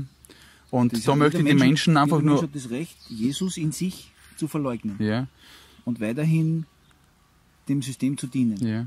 Und das passiert die ganze Zeit. Es wird ständig das Gute verleugnet. Ich wisse eh, dass es schlecht ist. Ich mach's trotzdem. Genau. Da verleugnest du diese Güte in dir, die gerade entstehen möchte. Und nicht nur im Einzelnen, sondern kollektiv. Genau. Ja? Also das, das passiert jetzt gerade. Deswegen die, der Tipp von mir ist einfach dieses Gelassensein, sich in geistiger Sittlichkeit üben. Und deswegen haben wir ja von außen das Prinzip testen, testen, testen. Jeder hat jetzt die Chance, dass er sich der Situation, der er gegenübersteht, stellt Ja. und sein Bewusstsein zum Ausdruck bringt. In welchem Bewusstsein schwingst du? Argumentier, sag mal's. Sprich es aus, sei das lebendige Wort. Beruf dich auf keinen Zettel, auf keinen anderen, auf keine Unterschrift, sondern erzähl mir, wo du geistig stehst. Bist du ein Liebeswesen? Bist du nur eine Gefahr für andere? Dann wirst du wahrscheinlich länger an der Kette hängen. Mhm. Ja, natürlich. Wenn, wenn du keine Gefahr bist für alles, Genau. weil du im Bewusstsein so viel Selbstbeherrschung schon gesammelt hast, dass man die auch reizen kann und du trotzdem nicht ausflippst, dann wirst du in Jesus da marschieren. Jesus ist die Schwingung Ich und Du, Müllers Kuh, Müllers Esel, der schaut zu Ich und Du. I, S, also nicht nur du, sondern S, I, S, Us. Das heißt, die geistige Mitte mit dem geistigen Umfeld im Umgang, Usus. So Ich erklärt verstehe schon, ja. Natürlich. Jesus ist ein ewiger Klang. Und gehört zu uns wie, wie Judas. Natürlich. Ist dieselbe Schwingung, nur halt nicht dieselbe Schwingung, es ist dasselbe Prinzip, es schwingt. ist eine Güte von uns. Petrus, Ich verstehe schon, Christian, Ja. Joe, Johannes. ja. Danke. die, ja, das sind alle diese Schwingungen. Und in Jesus, im geistig-sittlichen Wesen, geht es da da raus. Ja, Das kann jeder jetzt tun. Oder zumindest zum Üben anfangen. genau. Ja. Ja, wie gesagt, da haben wir ein bisschen eine Diskrepanz äh, zwischen unserer Weltanschauung, aber ich bin neugierig, wie das in 10 oder 20 Jahren sich ähm, gebären wird, wie sich das offenbaren wird. Ja. Ich habe gesagt, ich habe gerne Unrecht, wenn du Recht hast. Aber ja, ich kann auch für, mein, für meine Schwingung nichts dafür, dass ich die, die Dinge so sehe, wie ich Eben, sie sehe. Ne? Genau, so jeder sich selbst Ja. erkennen als Schwingung und gleichzeitig vergeben für alles, was er nicht besser wissen hat können. Weil der Geist ist sowieso ewig. Und der Geist ist unkränkbar, er ist unzerstörbar, er ist unberechenbar. Ja, Deswegen ist er auch nicht zurechnungsfähig, weil man ihm nicht dazu rechnen kann in die Rechnung. ist schon klar. Der Joker ist nicht zurechnungsfähig quasi. Der kommt und sticht. Mit dem kannst du nicht rechnen. Mhm, mhm. Außer du, wenn du mit dem rechnest, musst, darfst du aber auch nicht die beschweren, wann er erscheint. Wenn du mit dem rechnest. Ich weiß schon, was du meinst, ja? Genau. Der Geist ist nicht kränkbar. Wer gekränkt ist, ist im Ego krank. Genau. Ja? Nicht, Genau. der Geist ist, das ist die, die, die, die Essenz. Bei Und der, jeder von uns ist es. bei der Kränkung kann man entweder böse sein auf denjenigen im Außen, der diese Kränkung hervorbringt, scheinbar. Man könnte aber sagen, Dankeschön, dass du etwas in mir sichtbar machst, was die ganze Zeit schon in mir herumgeschwungen ist. Genau. Ja? Man konnte ihm dann nur nachschmeißen, äh, übrigens äh, die Verzerrung. Ja. Verstehst du, weil jeder rennt mit seiner eigenen Verzerrung durch Genau, die Gegend und genau. spiegelt dem anderen sich. Ja. Also es- ihm zurück. Jeder sieht sich selber im anderen. Und je verzerrter der andere ist, umso verzerrter sehe ich mich gespiegelt. Damit muss ich ja immer kalkulieren. Die Verzerrung des anderen. Genau. Und äh, man sieht immer sich selber, halt eben verzerrt. Und da, wenn es mich wo stört, dann muss Genau. ich eben genauer hinschauen. Und das sind meistens die ärgsten Zerspiegel. Da muss ich eben auch die Verantwortung für meinen Gemütszustand äh, übernehmen, weil wenn der andere es schafft, mich aus meiner Ruhe zu holen, ist nicht der andere schuld, Nein, dann dann habe ich mich aus der Ruhe. Spiegel. Genau. Die genau. anderen sind alle normale Spiegel. Da weiß ich eben Schaufenster vorbeigehe, ah ja, über meinen Friseur, Ja, weiß ja. schau, wie ich ausschaue. Und da kann man entweder in Verurteilung oder in Dankbarkeit Genau. reagieren oder antworten, genau. Ja. Ich, ich beobachte halt eben jetzt auch bei den Demos wieder, wie die Menschen sagen, sie wollen eine andere Gesellschaft haben, also das, was jetzt ist, wollen sie nicht, aber sie gehen zu wen anders hin, dass der das ändern soll. Und ich habe heute einen tollen äh, YouTube-Kommentar gekriegt auf ein Video, wo, wo jemand geschrieben hat, ähm, wenn wir das sind, wenn wir Gesellschaft sind, können wir sie ändern. Und das finde ich sehr bezeichnend, weil wir uns ja für gewöhnlich von Gesellschaft abkapseln oder uns nicht verantwortlich fühlen. Äh, und das ist Schritt in eine Abwärtsspirale. Das geht auf, die, auf kurze Zeit gut, weil du von den Problemen da draußen nicht berührt bist, weil du dich ja abgekapselt hast. Aber auf Dauer kommt es irgendwann einmal in deine persönliche Lebenswelt. Und ich glaube, dass Corona eben etwas ist, das uns alle zwingt, einmal nachzudenken und uns zu beleuchten, in was für einem Bewusstseinszustand leben wir eigentlich die ganze Zeit. ja, lass uns die Gesellschaft in Frage stellen. Ja, So wie alles in Frage gestellt gehört natürlich. ja. Und wenn man die Gesellschaft in Frage stellt, dann habe ich eh schon länger behauptet, äh, nach der Gesellschaft kommt die Meisterschaft. Äh, inwiefern? Die Meisterschaft, Mut zur Meisterschaft, dass die Gesellschaft ausgedient hat. Ja, Gesellschaft ist ein anderes Prinzip als Meisterschaft. das ist richtig, ja. Jeder Mensch ist jetzt aufgerufen, in die Meisterschaft zu streben, Genau. weil das Gesellschaftsprinzip einfach nicht mehr zeitgemäß ist. Das ist wie wenn du sagst, es liegen lauter Eier im Nest Ja. und die Hen sitzt drauf. Die Mutterkirche sitzt als Glucke auf alle Eier, die da 8 Milliarden Eier quasi küken, potenzielle Küken. Und sobald die Eier zerbrechen und die Küken ausrennen, das ist der Beginn der Meisterschaft fürs Küken. Vorher war es die Gesellschaft Genau, die, und in dem Moment, wo es alleine verantwortlich ist für den nächsten Schritt, ist das die Meisterschaft. Und da sind wir jetzt. Jeder Mensch ist jetzt ausgebrütet, gut behütet, ausgebrütet und er ist aufgerufen, das Nest zu verlassen. Deswegen drängt auch das System die Menschen gerade ekelhafterweise auf alle Ecken aussehen. das ist richtig, ja. Aussehen aus dem Nest. Ihr seid groß genug, jetzt rennt einmal endlich umeinander, lasst euch nicht alles vorsetzen, sondern fangt an zum Suchen. Aber dieses Herausdrängen eben birgt die Gefahr, dass ich sage, ich möchte für das, was ich da sehe, nicht verantwortlich sein. Und äh, kapsel mich noch weiter ab oder gehe als Aussteiger oder was irgendwo in die Einsiedelei. Ich glaube, dass die Lösung darin liegt, dass wir jetzt in uns den Brückenschlag eigentlich äh, vollziehen, dass wir selber zum Pontifex werden, dass wir alle Spaltungen in uns, und das kann man im Alltag beobachten, indem du als grünen Wähler die FPÖ verurteilst oder als Demonstrant die Regierung. Es ist wurscht, überall wo Spaltung ist, lebst du in Spaltung und hast in dir den Brückenschlag nicht äh, vollzogen. Und damit bist du noch immer eine Gefährdung für die Welt, weil du nicht das All-Eins-Bewusstsein hast, wo du sagst, es gibt nicht die Welt ich, meine Lieben und die anderen, sondern ich und meinesgleichen. Also diesen Gleichheit auf, auf Augenhöhe. Alles eins. Mhm. Es ist ein bisschen was Koloss von Rhodoshaftiges. Ja, ja, ja, ja. Diese Spaltung, dieser Der Spagat. Koloss von Rhodos, der mit einem Fuß da steht und mit dem anderen Fuß da steht, wir sind geistig schon ganz woanders, als wir nur mitspielen müssen. in Ja. Dings. Ja, Das ist ein, Weltwunder. Also, ja, das ist ein Weltwunder. Ja. Das, das musst du mal kennen. Geistig ganz woanders stehen, als du da mitspielst, ohne dass du ausflippst. aber, die, aber wenn du dann in der Liebe bist, ver verschwindet dir der Spagat. Der, der Koloss von Rhodos kann das eben. Deswegen ist der Koloss von Rhodos das Weltwunder. Ja. Der steht mit Fuß da, mit Fuß da und hält die Verbindung. Das ist ja von uns gefordert.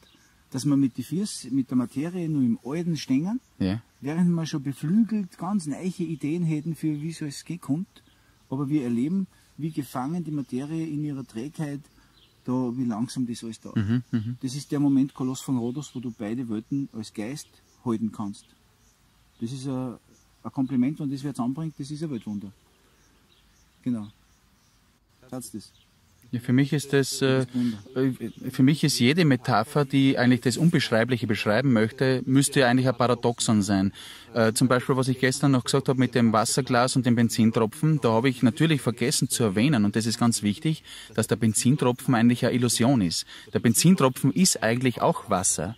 Nur in meiner gespaltenen äh, Wahrnehmung der Welt, indem ich Dinge verurteile und sage, das will ich nicht haben, und Dinge befürworte und sage, das mag ich, spalte ich die Welt in Gut und Böse, in das will ich, das will ich nicht, und ähm, verhindere damit, dass eigentlich die, das Leben selber, das was ist, meine Autorität wird und sagt, es ist, wie es ist, also muss es gut sein. Wir maßen uns an zu sagen, das, was gut ist, unterteilen wir in das mag ich und das mag ich nicht. Und diese, diese Spaltung in einem zu beenden, dass du sagst, ich bin im Frieden mit dem, was ist.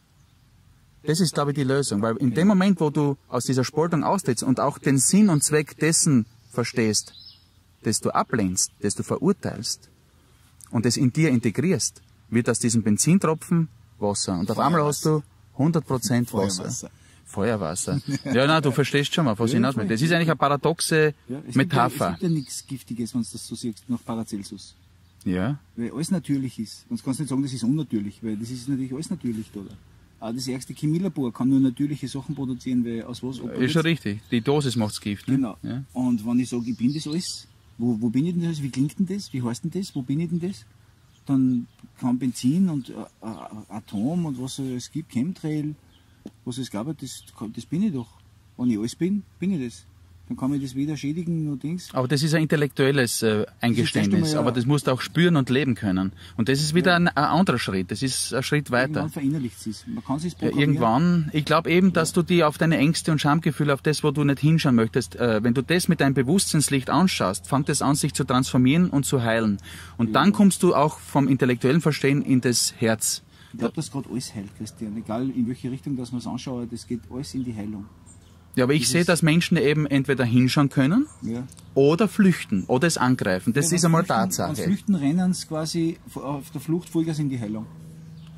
Ich Dafür weiß kann es nicht. Also für mich äh, kann dieses Spiel ewig dauern. Und du sagst jetzt, jetzt kommt der, das große Erwachen. Deswegen habe ich gesagt, für mich ist es nur ein Umbau der Bühne. Für mich kommt jetzt die halbe Ewigkeit. Ich freue mich, wenn es so ist. Im Licht, weil die letzte halbe Ewigkeit war es finster. Da haben wir diese Unendlichkeit erlebt.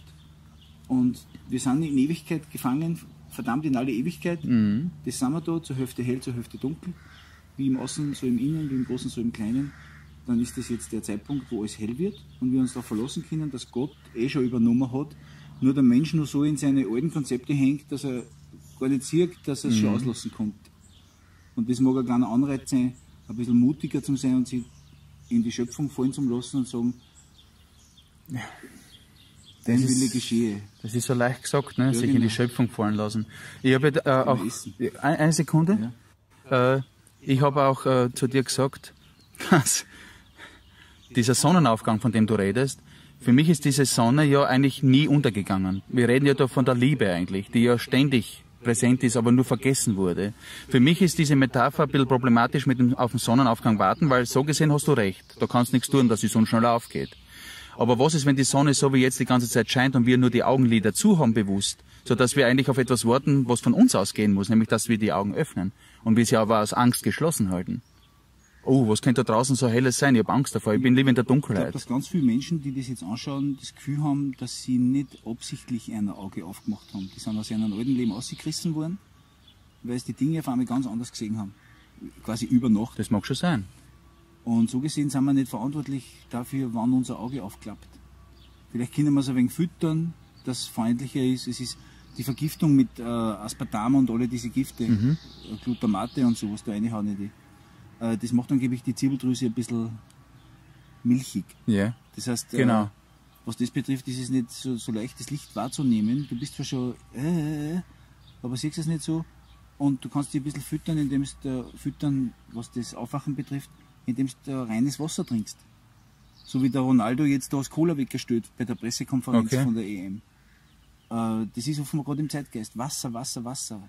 Reinigen. Das stimmt, weil das trinke ich seit Jahren schon. Ja, das stimmt. Genau. Und so gesehen kann man da ein bisschen unterstützend wirken, aber ob das jetzt der Effekt ist, dass man früher aufwacht, weiß man nie, weil es könnte auch genau der Zeitpunkt sein, wo ich von Haus aus aufgewacht war.